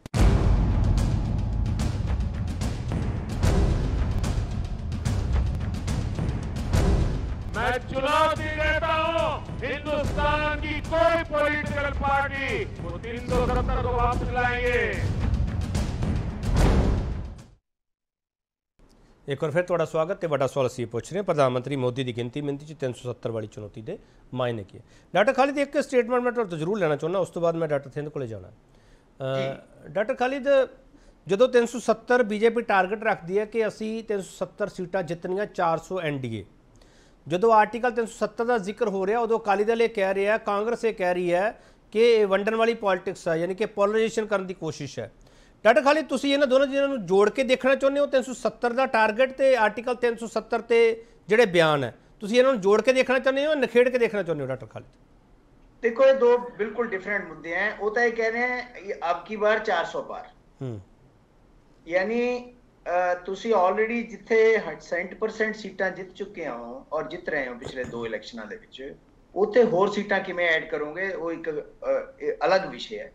370 ਨੂੰ ਸੰਕੇਤਿਕ ਰੂਪ ਦੇ ਵਿੱਚ 370 ਨਾਲ ਜੋੜਨਾ ਡੈਫੀਨਿਟਲੀ ਬੀਜੇਪੀ ਨੂੰ ਬਾਰ-ਬਾਰ ਆਪਣੇ ਇਲੈਕਸ਼ਨ ਕੈਂਪੇਨ ਦੇ ਵਿੱਚ 370 ਖਤਮ ਕਰਨ ਦਾ ਸ਼੍ਰੈ ਲੈਣ ਵਾਸਤੇ ਉਹ ਕੋਸ਼ਿਸ਼ ਕਰਦੇ ਰਹਿਣਗੇ। ਅਹ, ਇੰਡੀਆ ਦੇ ਵਿੱਚ। ਦੇਖੋ ਜੰਮੂ ਕਸ਼ਮੀਰ ਦੀ ਰਾਜਨੀਤੀ ਦੇ ਨਾਲ ਬੀਜੇਪੀ ਨੂੰ ਰੈਸਟ ਆਫ ਇੰਡੀਆ ਦੇ ਵਿੱਚ ਖਾਸ ਤੌਰ ਪਰ ਜਿਹੜੀ ਹਿੰਦੀ ਹਾਰਟਲੈਂਡ ਹੈ, ਉਹਦੇ ਵਿੱਚ ਕਾਫੀ ਫਾਇਦਾ ਮਿਲਿਆ ਪਿਛਲੇ ਦੋ ਇਲੈਕਸ਼ਨਾਂ ਦੇ ਵਿੱਚ। ਬਲਕਿ ਜਿਹੜੇ ਵਿਧਾਨ ਸਭਾ ਦੇ ਇਲੈਕਸ਼ਨ ਹੈ, ਉਹਨਾਂ ਦੇ ਵਿੱਚ ਵੀ ਫਾਇਦਾ ਮਿਲਿਆ ਔਰ ਫਾਇਦਾ ਲੈਣ ਦੀ ਕੋਸ਼ਿਸ਼ ਕਰਨਗੇ। ਲੇਕਿਨ ਮੈਂ ਫੇਰ ਉਹੀ ਗੱਲ ਕਹਾਂਗਾ ਕਿ ਜਿਹੜੀ ਬੀਜੇਪੀ ਦੀ ਰਾਜਨੀਤੀ ਹੈ ਕਿ ਅਸੀਂ ਇੱਕ ਤਰ੍ਹਾਂ ਸਟੇਟ ਦੀ ਤਾਕਤ ਦੇ ਨਾਲ ਲੋਕਾਂ ਨੂੰ ਆਪਣੇ ਨਾਲ ਰੱਖ ਸਕਦੇ ਆ ਜਾਂ ਰੱਖਾਂਗੇ ਉਹ ਚੀਜ਼ ਜਿਹੜੀ ਹੈਗੀ ਆ ਉਹ ਜ਼ਿਆਦਾ ਦੇਰ ਨਹੀਂ ਚੱਲਦੀ ਜਦ ਤੱਕ ਲੋਕਾਂ ਦੇ ਦਿਲ ਨਾ ਜਿੱਤਿਆ ਜਾਵੇ ਔਰ ਉਹ ਚੀਜ਼ ਉਹ ਨਹੀਂ ਹੋ ਰਹੀ ਹੈ ਕਿਉਂਕਿ ਲੋਕਤੰਤਰ ਦਾ ਪ੍ਰੋਸੈਸ ਉੱਥੇ ਪਿਛਲੇ 4 ਸਾਲ ਤੋਂ ਲੰਬ ਅਹ, ਬੰਦ ਪਿਆ। ਲੋਕਾਂ ਦੇ ਜਿਹੜੀਆਂ ਐਸਪੀਰੇਸ਼ਨਸ ਹੈ ਉਹ ਉਸ ਵੇਲੇ ਪਤਾ ਲੱਗਣਗੀਆਂ ਜਿਸ ਵੇਲੇ ਇਲੈਕਸ਼ਨ ਹੋਏਗਾ ਇਲੈਕਸ਼ਨ ਦੇ ਵਿੱਚ ਕਿਹੜੀਆਂ ਪਾਰਟੀਆਂ ਪਾਵਰ ਜਿੱਤਦੀਆਂ ਹਨ ਫਿਰ ਪਤਾ ਲੱਗੇਗਾ ਕਿ ਲੋਕ ਕੀ ਚਾਹੁੰਦੇ ਹਨ। ਠੀਕ ਹੈ। ਡਾਕਟਰ ਥਿੰਦ ਡਾਕਟਰ ਥਿੰਦ ਅ, ਡੈਮੋਕ੍ਰੇਸੀ ਦੀ ਜਿਹੜੀ ਮਰਿਆਦਾ ਹੁੰਦੀ ਹੈ ਤੁਸੀਂ ਉਸ ਦਾ ਪਾਲਣ ਨਹੀਂ ਕਰ ਪਾ ਰਹੇ। ਤੁਹਾਡੇ ਤੇ ਸਵਾਲ ਉੱਠਦਾ ਪਿਆ। ਆਪੋਜੀਸ਼ਨ ਨੇ ਸਵਾਲ ਚੁੱਕਦੀ ਵੀ ਨਾਲ ਇਹ ਵੀ ਸਵਾਲ ਆ ਰਿਹਾ ਕਿ ਤੁਸੀਂ ਪੋਲਰਾਈਜੇਸ਼ਨ ਦੀ ਪੋਲਿਟਿਕਸ ਕਰਦੇ ਪਏ ਹੋ। ਧਰੁਵੀਕਰਨ ਦੀ ਰਾਜਨੀਤੀ ਕਰਦੇ ਹੋ ਵੰਡੀਆਂ ਪਾਉਣ ਦੀ ਰਾਜਨੀਤੀ ਕਰਦੇ ਹੋ ਡਾਕਟਰ ਥਿੰਦ ਤੁਸੀਂ। ਆਵਾਜ਼ ਖੋਲੋ ਡਾਕਟਰ ਥਿੰਦ ਆਪਣੀ। ਆ ਕਿਪ ਜੀ ਦੇਖੋ ਜਿਹੜੀ ਗੱਲ ਵਿਰੋਧੀਆਂ ਦੇ ਕੋਲ ਹੋਰ ਕੋਈ ਮੁੱਦੇ ਨਹੀਂ ਹੈ, ਇਸ ਗੱਲ ਇਲਜ਼ਾਮ ਲਾਉਣ ਦਾ ਕੰਮ ਹੈ ਲਾਈ ਜਾਣ। ਪਰ ਮੈਂ ਇਹ ਗੱਲ ਕਰਦਾ, ਡਾਕਟਰ ਖਾਲਿਦ ਖਾਲਿਦ ਨੇ ਬਹੁਤ ਸੋਹਣੀਆਂ ਗੱਲਾਂ ਕੀਤੀਆਂ ਕਿ ਇਨਸਾਨੀਅਤ ਦੀ ਗੱਲ ਕੀਤੀ ਸ਼ਡਿਊਲ ਕਾਸਟਾਂ ਦੇ ਹੱਕਾਂ ਦੀ ਗੱਲ ਕੀਤੀ। ਪਰ ਤੁਸੀਂ ਇਸ ਗੱਲ ਨੂੰ ਸੁਣ ਕੇ ਹੈਰਾਨ ਹੋਵੋਗੇ ਕਿ ਜਦੋਂ ਕਿ ਕਸ਼ਮੀਰ ਦੇ ਵਿੱਚ ਆਰਟੀਕਲ 370 ਤੱਕ ਜਦੋਂ ਤੱਕ ਲੱਗਾ ਹੋਇਆ ਸੀ, ਉਦੋਂ ਇਹ ਹੁੰਦਾ ਸੀ, ਅਗਰ ਕਸ਼ਮੀਰ ਦੀ ਕੋਈ ਵੀ ਬੇਟੀ ਦਾ ਵਿਆਹ ਜੇ ਐਂਡ ਜੇ ਐਂਡ ਕੇ ਤੋਂ ਬਾਹਰ ਹੋ ਜਾਵੇ, ਪੰਜਾਬ, ਰਾਜਾ ਹਿੰਦੁਸਤਾਨ ਦੇ ਕਿਸੇ ਹੋਰ ਸੂਬੇ 'ਚ ਹੋ ਜਾਵੇ, ਤਾਂ ਉਹਦੇ ਕੋਲੋਂ ਕਸ਼ਮੀਰ ਦੀ ਨਾਗਰਿਕਤਾ ਵੀ ਖੋਈ ਜਾਂਦੀ ਸੀ ਔਰ ਉੱਥੋਂ ਦੇ ਸਾਰੇ ਅਧਿਕਾਰ ਉੱਥੇ ਬੱਚੇ ਨੂੰ ਜਨਮ ਦੇਣ ਦਾ ਅਧਿਕਾਰ ਉੱਥੋਂ ਦੀ ਪ੍ਰਾਪਰਟੀ ਦਾ ਅਧਿਕਾਰ ਸਾਰੇ ਉਹਦੇ ਕੋਲੋਂ ਖੋਹ ਲਏ ਜਾਂਦੇ ਸੀ। ਸੋ ਇਹ ਕਿਹੜੇ ਦੁਨੀਆ ਦੀ ਇਹ ਕਿਹੜੀ ਦੁਨੀਆ 'ਚ ਅਸੀਂ ਕਸ਼ਮੀਰ ਨੂੰ ਲੈ ਕੇ ਗਏ ਹੋਏ ਸੀ? ਇਸੇ ਤਰ੍ਹਾਂ ਹੀ ਪਹਿਲੀ ਵਾਰ ਹੋਇਆ ਕਿਉਂਕਿ ਕਾਂਗਰਸ ਗੱਲ ਕਰਦੀ ਹੈ ਕਾਸਟ ਸੈਂਸਸ ਦੀ ਇਹਨਾਂ ਪਹਿਲੀ ਵਾਰ ਹੋਇਆ ਕਿ ਜੰਮੂ ਐਂਡ ਕਸ਼ਮੀਰ ਦੇ ਵਿੱਚ OBC ਨੂੰ ਜਿਹੜਾ ਹੈਗਾ ਰਿਕੋਗਨਾਈਜ਼ ਕੀਤਾ ਗਿਆ ਆਇਡੈਂਟੀਟੀ ਕੀਤਾ ਗਿਆ ਔਰ ਟ੍ਰਾਈਬਲ ਸ਼ਡਿਊਲਸ ਨੂੰ ਜੰਮੂ ਐਂਡ ਕਸ਼ਮੀਰ ਦੇ ਵਿੱਚ ਪੋਲਿਟੀਕਲੀ ਰਿਜ਼ਰਵੇਸ਼ਨ ਮਿਲੀ। ਸੋ ਕੀ ਗੱਲ ਇਹ ਡੈਮੋਕ੍ਰੇਸੀ ਦਾ ਕਤਲ ਹੈ? ਨਹੀਂ ਫਿਰ ਇਹ ਵੀ ਦੱਸ ਦਿਓ ਨਾ ਸਰ। ਕਸ਼ਮੀਰੀ ਪੰਡਤਾਂ ਨਾਲ ਲੈਟਰ ਥਿੰਦ ਜਿਹੜੇ ਕਸ਼ਮੀਰੀ ਪੰਡਤਾਂ ਨਾਲ ਤੁਸੀਂ ਪ੍ਰੋਮਿਸ ਕੀਤੇ ਸੀਗੇ ਉਹਨਾਂ ਨੂੰ ਤੁਸੀਂ ਵਸਾਤਾ ਸਰ ਉੱਥੇ? ਆ ਕੇਪੀ ਜੀ ਦੇਖੋ ਗੱਲ ਹੁਣ ਇਹ ਨਹੀਂ ਹੁੰਦੀ ਕਿ ਅਸੀਂ ਇੱਥੋਂ ਚੱਕ ਕੇ ਉੱਥੇ ਲੈ ਕੇ ਜਾਣਾ। ਗੱਲ ਹੁੰਦੀ ਹੈ we have to create atmosphere ਅਸੀਂ ਉਹਨਾਂ ਨੂੰ ਉੱਥੇ ਉਹ ਮਾਹੌਲ ਮਾਹੌਲ ਅੱਜ ਦੇ ਦਿੱਤਾ ਹੈ। ਉਹ ਹੁਣ ਜਾਣਾ ਨਹੀਂ ਜਾਣਾ ਇੱਥੇ ਉਂਗਲੇ ਕਿਸੇ ਦੇ ਦਿੱਲੀ ਦੇ ਐਟਮੋਸਫੀਅਰ ਤਾਂ ਤੁਸੀਂ ਇਹ ਵੀ ਕਿਹਾ ਸੀ ਡਾਕਟਰ। ਥਿੰਦ ਐਟਮੋਸਫੀਅਰ ਤਾਂ ਤੁਸੀਂ ਇਹ ਵੀ ਕਿਹਾ ਸੀਗਾ। ਕਿ ਉੱਥੇ ਲੋਕ ਜਾ ਕੇ ਜ਼ਮੀਨਾਂ ਖਰੀਦਣਗੇ ਉੱਥੇ ਕਾਰੋਬਾਰ ਖੋਲਣਗੇ ਤੁਸੀਂ ਇਹ ਵੀ ਕਿਹਾ ਸੀ ਡਾਕਟਰ ਥਿੰਦ। ਐਟਮੋਸਫੀਅਰ ਤਿਆਰ ਹੀ ਨਹੀਂ ਹੋਇਆ ਸਰ ਇੰਨੇ ਸਾਲਾਂ 'ਚ? ਕੇਪੀ ਜੀ ਮੈਂ ਤੁਹਾਨੂੰ ਦੱਸ ਦਿਆਂ 28 5 ਸਟਾਰ ਹੋਟਲ ਰਿਸੋਰਟਸ ਜਿਹੜੇ ਨੇ ਆਰਟੀਕਲ 370 ਲ- ਹਟਣ ਤੋਂ ਬਾਅਦ ਜੰਮੂ ਐਂਡ ਕਸ਼ਮੀਰ ਦੇ ਵਿੱਚ ਖੁੱਲ ਚੁੱਕੇ ਨੇ। 28 5 ਸਟਾਰ ਹੋਟਲਸ ਵਿਚ ਮੀਨਸ ਮੋਰ ਦੈਨ ਪੰਜਾਬ ਦੇ ਦੇ ਜਿਹੜੇ ਚੰਗੇ ਚੰਗੇ ਲੁਧਿਆਣਾ ਚੰਡੀਗੜ੍ਹ ਅੰਮ੍ਰਿਤਸਰ ਦੀ ਆਪਾਂ ਗੱਲ ਕਰਦੇ ਉਸ ਤੋਂ ਵੱਧ ਹੋਟਲਸ ਉੱਥੇ ਖੁੱਲ ਚੁੱਕੇ ਨੇ 28 5 ਸਟਾਰ ਹੋਟਲਸ। ਔਰ ਉਸ ਤੋਂ ਸਿਵਾਏ ਰੇਲਵੇ ਸਟੇਸ਼ਨਸ ਪ੍ਰਾਪਰਟੀਆਂ ਉੱਥੇ ਬਣ ਚੁੱਕੀਆਂ ਨੇ ਇੰਡਸਟਰੀਅਲ ਹੱਬ ਬਣ ਚੁੱਕੇ ਨੇ ਅੱਜ ਉੱਥੇ। ਤੁਸੀਂ ਜਾ ਕੇ ਦੇਖੋ। ਔਰ ਦੂਸਰੀ ਗੱਲ ਹੁਣੇ ਟੀਨਾ ਭੈਣ ਜੀ ਨੇ ਗੱਲ ਕੀਤੀ ਸੀ ਕਿ ਬਾਰਡਰ ਏਰੀਆ ਨੇ 15% ਚਾਈਨਾ ਨੂੰ ਲੱਗਦਾ ਹੈ ਪਾਕਿਸਤਾਨ ਨੂੰ ਲੱਗਦਾ ਹੈ ਅਫਗਾਨਿਸਤਾਨ ਨੂੰ ਲੱਗਦਾ ਹੈ। ਤਾਂ ਕੇਪੀ ਜੀ ਅਗਰ ਕੋਈ ਕੋਈ ਸਟੇਟ ਸਾਡੇ ਦੁਸ਼ਮਣ ਦੇਸ਼ਾਂ ਨੂੰ ਲੱਗਦੀ ਹੈ ਜਿਨ੍ਹਾਂ ਦੇਸ਼ਾਂ ਨਾਲ ਸਾਡੇ ਸਬੰਧ ਨਹੀਂ ਸਹੀ ਤਾਂ ਕੀ ਅਸੀਂ ਸਟੇਟ ਨੂੰ ਆਪਣੇ ਹਾਲ ਤੇ ਛੱਡ ਦਾਂਗੇ? ਉਹ ਤਾਂ ਸੈਂਟਰ ਦੀ ਹੋਰ ਜ਼ਿੰਮੇਵਾਰੀ ਬਣ ਜਾਂਦੀ ਹੈ ਕਿ ਸੈਂਟਰ ਉੱਥੇ ਆਪਣੇ ਪੁਖਤਾ ਇੰਤਜ਼ਾਮ ਕਰੇ ਤਾਂ ਕਿ ਸਾਡੇ ਨੌਜਵਾਨਾਂ ਦੀ ਸੇਫਟੀ ਰਵੇ ਸਾਡੇ ਦੇਸ਼ ਦੀ ਸੇਫਟੀ ਰਵੇ। ਔਰ ਇਹ ਕਹਿੰਦੇ ਨੇ ਕਿ ਅਸੀਂ ਇਸ ਕਰਕੇ ਉਹਨਾਂ ਨੂੰ ਜਿਹੜਾ ਹੈਗਾ ਕਿ ਦਿੱਤੀ ਹੋਈ ਸੀ ਸੋਲੀਆ ਆਪਣੀ ਟੀਨਾ ਜੀ ਨੂੰ ਜੀ ਲੈਣ। ਕੁਝ ਕਹਿਣਾ ਚਾਹ ਰਹੇ ਹਾਂ ਟੀਨਾ ਜੀ ਬੋਲੋ। ਕਿ ਸਾਹਿਬ ਉਥੋਂ ਦੇ ਲੋਕ ਤਾਂ ਖੁਸ਼ ਸੀਗੇ। ਅੱਜ ਤੱਕ ਤੁਸੀਂ ਕਿਸੇ ਨੂੰ ਆਵਾਜ਼ ਚੁੱਕਦੇ ਸੁਣਿਆ ਕਿ ਸਾਨੂੰ ਆਪਣੇ ਹੱਕ ਨਹੀਂ ਮਿਲ ਰਹੇ। ਇਵਨ ਉਹ ਤਾਂ ਬਹੁਤ ਜ਼ਿਆਦਾ ਖੁਸ਼ ਸੀਗੀ ਕਿ ਸਾਨੂੰ ਹੋਰ ਜ਼ਿਆਦਾ ਓਪਰਚ्युनिटीज ਮਿਲ ਰਹੀਆਂ ਐਜੂਕੇਸ਼ਨ ਦੇ ਵਿੱਚ ਕੁਆਲੀਫਿਕੇਸ਼ਨਸ ਦੇ ਵਿੱਚ, ਚਾਹੇ ਇਹਨਾਂ ਨੂੰ ਸਰਕਾਰੀ ਭਰਤੀਆਂ ਨੂੰ ਲੈ ਕੇ ਹੋਵੇ ਇੰਡਸਟਰੀਜ਼ ਨੂੰ ਲੈ ਕੇ ਹੋਵੇ, ਕੋਈ ਵੀ ਉੱਥੇ ਕੰਮ ਹੋਵੇ, ਉਹ ਤਾਂ ਮੋਨੋਪੋਲੀ ਲੈ ਕੇ ਕੁਝ ਸੀਗੇ। ਔਰ ਜਿੰਨਾ ਉਹ ਰਿਮੋਟ ਏਰੀਆ ਕੰਟਰੋਲ ਇੰਨਾ ਜਿਹੜਾ ਹੈਗਾ ਏਰੀਆ ਮੰਨਿਆ ਜਾਂਦਾ ਹੈਗਾ ਇੰਨਾ ਆਪਣੀ ਮੌਤ ਸਿਰ ਤੇ ਚੁੱਕ ਕੇ ਲੋਕੀ ਉੱਥੇ ਰਹਿੰਦੇ ਨੇ, ਹੋਰ ਕੋਈ ਐਡਾ ਵੱਡਾ ਰਿਸਕ ਲੈ ਸਕਦਾ ਜਿੰਨਾ ਉਹ ਲੈ ਰਹੇ ਨੇ? ਔਰ ਇਹ ਤੇ ਅਸੀਂ ਜਾਣਦੇ ਹੀ ਆ ਕਿ ਪਾਕਿਸਤਾਨ ਆਕੂਪਾਈਡ ਕਸ਼ਮੀਰ ਦੇ ਵਿੱਚ ਉੱਥੇ ਰਹਿਣ ਦੇ ਨਾਲ ਹੁਣ ਤੱਕ ਕਿੱਦਾਂ ਦੇ ਹਾਲਾਤ ਬਣਦੇ ਨੇ ਲੋਕੀ ਡਿਸੀਜਨ ਲੈਂਦੇ ਨੇ ਉੱਥੇ ਜਾਣ ਵਾਸਤੇ? ਔਰ ਇਹ ਹੋਟਲਸ ਦੀ ਗੱਲ ਕਰ ਰਹੇ ਨੇ। ਹੋਟਲਸ ਤਾਂ ਪਹਿਲੇ ਵੀ ਬਹੁਤ ਸੀ। ਕਦੀ ਅੱਜ ਤੱਕ ਮੈਨੂੰ ਦੱਸੋ 370 ਹਟਾਉਣ ਤੋਂ ਪਹਿਲਾਂ ਜੰਨੇ ਜਿੰਨੇ ਵੀ ਕੋਈ ਇੱਥੋਂ ਟੂਰਿਸਟ ਉੱਥੇ ਘੁੰਮਣ ਵਾਸਤੇ ਗਏ ਨੇ ਕਿਸੇ ਨੂੰ ਹੋਟਲ ਦੀ ਨਾਨ ਅਵੇਲੇਬਿਲਟੀ ਦਾ ਸ਼ਿਕਾਰ ਹੋਣਾ ਪਿਆ ਕਿ ਸਾਨੂੰ ਉੱਥੇ ਜਾਂਦਾ ਕੌਣ ਸੀ? ਦੱਸ ਕੇਪੀ ਜੀ ਮੈਂ ਆ ਰਿਹਾ ਡਾਕਟਰ ਸਿੰਘ ਆ ਰਿਹਾ। ਇਵਨ ਕਿ ਹੋਰ ਵਧੀਆ ਇਵਨ ਇਹਨਾਂ ਨੇ ਤਾਂ ਜੇ ਇਹਨਾਂ ਨੇ ਓਬੀਸੀ ਨੂੰ ਹੱਕ ਦਿਲਵਾਇਆ ਤਾਂ ਸਰ ਤੁਸੀਂ ਤਾਂ ਹੱਕ ਹੀ ਖੋਲਿਆ ਵੋਟ ਲੈਣ ਦਾ ਟੀਨਾ ਵੋਟ ਜੀ ਦੇਣ ਦਾ। ਟੀਨਾ ਜੀ ਉਹ ਤਾਂ ਕਹਿ ਰਹੇ ਟੀਨਾ ਜੀ ਉਹ ਕਹਿ ਰਹੇ ਉੱਥੇ ਜਾਂਦਾ ਕੌਣ ਸੀ? ਇਹਨਾਂ ਦੀ ਸਰਕਾਰ ਆਈ ਤਾਂ ਲੋਕ ਜਾਣਾ ਸ਼ੁਰੂ ਕੀਤੇ ਉੱਥੇ। ਪਹਿਲਾਂ ਕੋਈ ਜਾਂਦਾ ਨਹੀਂ ਸੀਗਾ। ਪਹਿਲਾਂ ਕੋਈ ਅਸੀਂ ਟੂਰਿਸਟ ਨਹੀਂ ਜਾਂਦਾ ਸੀ ਉੱਥੇ। ਕਸ਼ਮੀਰ। ਬੰਦ ਰਹਿੰਦਾ ਸੀ ਬੰਦ ਰਹਿੰਦਾ ਸੀ ਕਸ਼ਮੀਰ। ਅਸੀਂ ਅਸੀਂ ਘੁੰਮਣ ਜਾਂਦੇ ਰਹੇ ਹਾਂ, ਸਾਨੂੰ ਇਸ ਤਰ੍ਹਾਂ ਕਦੀ ਫੀਲ ਨਹੀਂ ਹੋਇਆ 370 ਨਹੀਂ ਵੀ ਸੀ। ਅਸੀਂ ਸ਼ਰਿਆਮ ਘੁੰਮਣ ਜਾਈਦਾ ਸੀਗਾ। ਅਸੀਂ ਵਿਦ ਫੈਮਿਲੀ ਜਾਈਦਾ ਸੀ ਰਹਿ ਕੇ ਆਈਦਾ ਸੀਗਾ। ਠੀਕ- ਠੀਕ- ਠੀਕ- ਠੀਕ ਹੈ। ਮਤਲਬ ਕਿ ਰੋਡਸ ਟੋਟਲੀ ਜੈਮ ਰਹਿੰਦੀਆਂ ਸੀਗੀਆਂ। ਇਸ ਤਰ੍ਹਾਂ ਦੀ ਤਾਂ ਕੋਈ ਗੱਲ ਹੀ ਨਹੀਂ ਸੀ। ਠੀਕ ਮਿਸਟਰ ਮਿਸਟਰ ਮਠਾੜੂ ਠੀਕ ਹੈ ਟੀਨਾ ਜੀ ਮੈਂ ਆ ਰਿਹਾ ਵਾਪਸ ਆ ਜਾਊਂਗਾ। ਮਿਸਟਰ ਮਠਾੜੂ ਇੱਕ ਸੈਕਿੰਡ ਹਾਂ, ਜੀ ਬੋਲੋ, ਬੋਲੋ, ਇਹਨਾਂ ਨੂੰ। ਪੁੱਛੋ ਜੇ ਇਹਨਾਂ ਨੇ ਵੋਟ ਵੋਟ ਦੇਣ ਦਾ ਹੱਕ ਦੇ ਦਿੱਤਾ ਸਾਰਿਆਂ ਨੂੰ। ਇਹਨਾਂ ਨੇ ਵੋਟ ਖੋ ਵੀ ਤੇ ਲਿਆ। ਵੋਟ ਪਾਉਣ ਦਾ ਹੱਕ ਹੀ ਖੋ ਲਿਆ। ਯੂਟੀ ਨੂੰ ਇਕਰਾਰ ਦੇ ਕੇ ਸੈਂਟਰ ਗਵਰਨਮੈਂਟ ਦੀ ਜ਼ਿਆਦਾ ਉੱਤੇ ਹੋਲਡ ਬਣਾ ਲਿਆ। ਤਾਂ ਕਿ ਵਿਧਾਨ ਸਭਾ ਅਸੈਂਬਲੀ ਦੇ ਜੇ ਇਲੈਕਸ਼ਨਸ ਹੋਣ ਵੀ ਤੇ ਜਿਹੜੇ ਮੇਜਰ ਪ੍ਰੋਜੈਕਟਸ ਦੀ ਜਿੰਨੀ ਵੀ ਪਾਵਰ ਹੋਏਗੀ ਉਹ ਸਾਰੀ ਸੈਂਟਰ ਕੋਲ ਹੋਏਗੀ। ਯੂਟੀ ਬਣਾਉਣ ਦੇ ਨਾਲ ਤਾਂ ਤੁਸੀਂ ਸਾਰਾ ਹੱਕ ਉਹਨਾਂ ਕੋਲ ਹੀ ਮੈਂ। ਤੁਹਾਡਾ- ਮੈਂ ਤੁਹਾਡਾ ਸਵਾਲ ਲੈ ਵੀ ਟੀਨਾ ਜੀ, ਮੈਂ ਤੁਹਾਡਾ ਸਵਾਲ ਲੈ ਦੇ ਸਕਦੇ ਉਹਨਾਂ ਨੂੰ। ਟੀਨਾ ਜੀ, ਮੈਂ ਤੁਹਾਡਾ ਸਵਾਲ ਲੈ- ਤੁਹਾਡਾ। ਸਵਾਲ ਲੈ ਲੈਂਦਾ। ਲਦਾਖ ਬਾਰੇ ਗੱਲ ਕਰਨ ਕੇਪੀ ਸਾਹਿਬ ਲਦਾਖ ਬਾਰੇ ਹਾਲਾਤ ਤਾਂ ਪੁੱਛੋ ਇਹਨਾਂ ਨੂੰ ਮੈਂ ਮੈਂ? ਪੁੱਛਦਾ ਮੈਂ ਆ ਰਿਹਾ mister Matharu mister Matharu BJP ਕਹਿ ਰਹੀ ਉੱਥੇ ਹੋਟਲਸ ਖੁੱਲ ਗਿਆ ਟੂਰਿਜ਼ਮ ਬਹੁਤ ਵੱਧ ਗਿਆ ਮਿਸਟਰ ਮਠਾੜੂ ਤੁਸੀਂ ਉਦੋਂ ਵਧਾਈਆਂ ਦਿੰਦੇ ਹੁਣ ਵੀ ਵਧਾਈਆਂ ਦੇ ਦਿਓ ਨਾ ਚੰਗਾ ਕੰਮ ਕੀਤਾ ਬੀਜੇਪੀ ਨੇ ਅੱਜ ਵਧਾਈਆਂ ਕਿਉਂ ਨਹੀਂ ਦੇ ਰਹੇ ਏਪੀ ਜੀ ਦੇਖੋ, ਇਹ ਤੁਸੀਂ ਕੋਈ ਵੀ ਬਿਆਨ ਸਾਡਾ ਸ਼੍ਰੋਮਣੀ ਅਕਾਲੀ ਦਲ ਦਾ ਕੱਢ ਕੇ ਵਿਖਾ ਦਿਓ ਵੀ ਅਸੀਂ ਵਧਾਈਆਂ ਦਿੱਤੀਆਂ ਕਿ ਬੀਜੇਪੀ ਨੇ ਬਹੁਤ ਚੰਗਾ ਕੰਮ ਕੀਤਾ ਵਧਾਈਆਂ ਵਾਲਾ। ਠੀਕ ਹੈ, ਸ਼੍ਰੋਮਣੀ ਅਕਾਲੀ ਦਲ ਦਾ ਸਮਝੌਤਾ ਸੀ ਬੀਜੇਪੀ ਦੇ ਨਾਲ ਔਰ ਬੀਜੇਪੀ ਦੇ ਨਾਲ ਸਮਝੌਤਾ ਹੋਣ ਦੇ ਨਾਤੇ ਜਿਹੜਾ ਜਿਹੜਾ ਧਰਮ ਨਿਭਾਉਣਾ ਹੁੰਦਾ ਕਿ ਇੱਕ ਪੋਲੀਟੀਕਲ ਪਾਰਟੀ, ਪਾਰਟੀਆਂ ਦਾ ਆਪਸ ਦੇ ਵਿੱਚ ਸਮਝੌਤਾ ਸੀ। ਇਸ ਕਰਕੇ ਸ਼੍ਰੋਮਣੀ ਅਕਾਲੀ ਦਲ ਉਸ ਵੇਲੇ ਜਿਹੜਾ ਤੁਸੀਂ ਕਹੀ ਜਾਂਦੇ ਹੋ ਸਟੈਂਡ ਕਿ ਤੁਸੀਂ ਵੱਖ ਸਟੈਂਡ ਨਹੀਂ ਲਿਆ ਪਰੰਤੂ ਮੈਂ ਕੇਪੀ ਜੀ ਇੱਕ ਗੱਲ ਕਹਿਣੀ ਚਾਹਾਂਗਾ। ਅੱਜ ਕਾਂਗਰਸ ਹੈ ਚਾਹੇ ਜੋ ਸੈਂਟਰ ਦੀਆਂ ਜਿਹੜੀਆਂ ਸੈਂਟਰਲਾਈਜ਼ਡ ਪਾਰਟੀਆਂ ਹੈ ਚਾਹੇ ਕਾਂਗਰਸ ਹੈ ਚਾਹੇ ਭਾਰਤੀ ਜਨਤਾ ਪਾਰਟੀ ਹੈ ਔਰ ਚਾਹੇ ਆਮ ਆਦਮੀ ਪਾਰਟੀ ਹੈ। ਚਲੋ ਆਮ ਆਦਮੀ ਪਾਰਟੀ ਦਾ ਬੁਰਾ ਰੱਜ ਨਹੀਂ। ਸਭ ਤੋਂ ਪਹਿਲਾਂ ਅਰਵਿੰਦ ਕੇਜਰੀਵਾਲ ਜੀ ਨੇ ਟਵੀਟ ਕਰਕੇ ਵਧਾਈ ਦਿੱਤੀ ਸੀ। ਦੂਸਰੀ ਗੱਲ ਮੈਂ ਉਹ- ਉਹ ਤਾਂ ਆਏ ਨਹੀਂ ਅੱਜ ਮੈਂ ਸੱਦਿਆ ਸੀ ਮਿਸਟਰ ਮਠਾੜੂ ਉਹ ਆਏ ਆਏ ਨਹੀਂ ਅੱਜ ਮੈਂ ਸੱਦਿਆ ਸੀ ਉਹਨਾਂ ਨੂੰ ਵੀ। ਚਲੋ ਉਹ ਘੱਟ ਹੀ ਆਉਂਦੇ ਆ ਜਦੋਂ ਉਹਨਾਂ ਤੋਂ ਕੋਈ ਸਵਾਲ ਹੁੰਦਾ ਮੈਂ ਚਲੋ ਉਹਨਾਂ ਦੇ ਭਾਈਵਾਲ ਬੈਠੇ ਆ ਟੀਨਾ ਭੈਣ ਜੀ ਅੱਜ ਇਹਨਾਂ ਨੂੰ ਉਹਨਾਂ ਨੂੰ ਵੀ ਪੁੱਛਣਾ ਚਾਹੀਦਾ ਵੈਸੇ ਤਾਂ ਇਹਨਾਂ ਨੂੰ ਸਮਝੌਤਾ ਹੀ ਨਹੀਂ ਕਰਨਾ ਚਾਹੀਦਾ।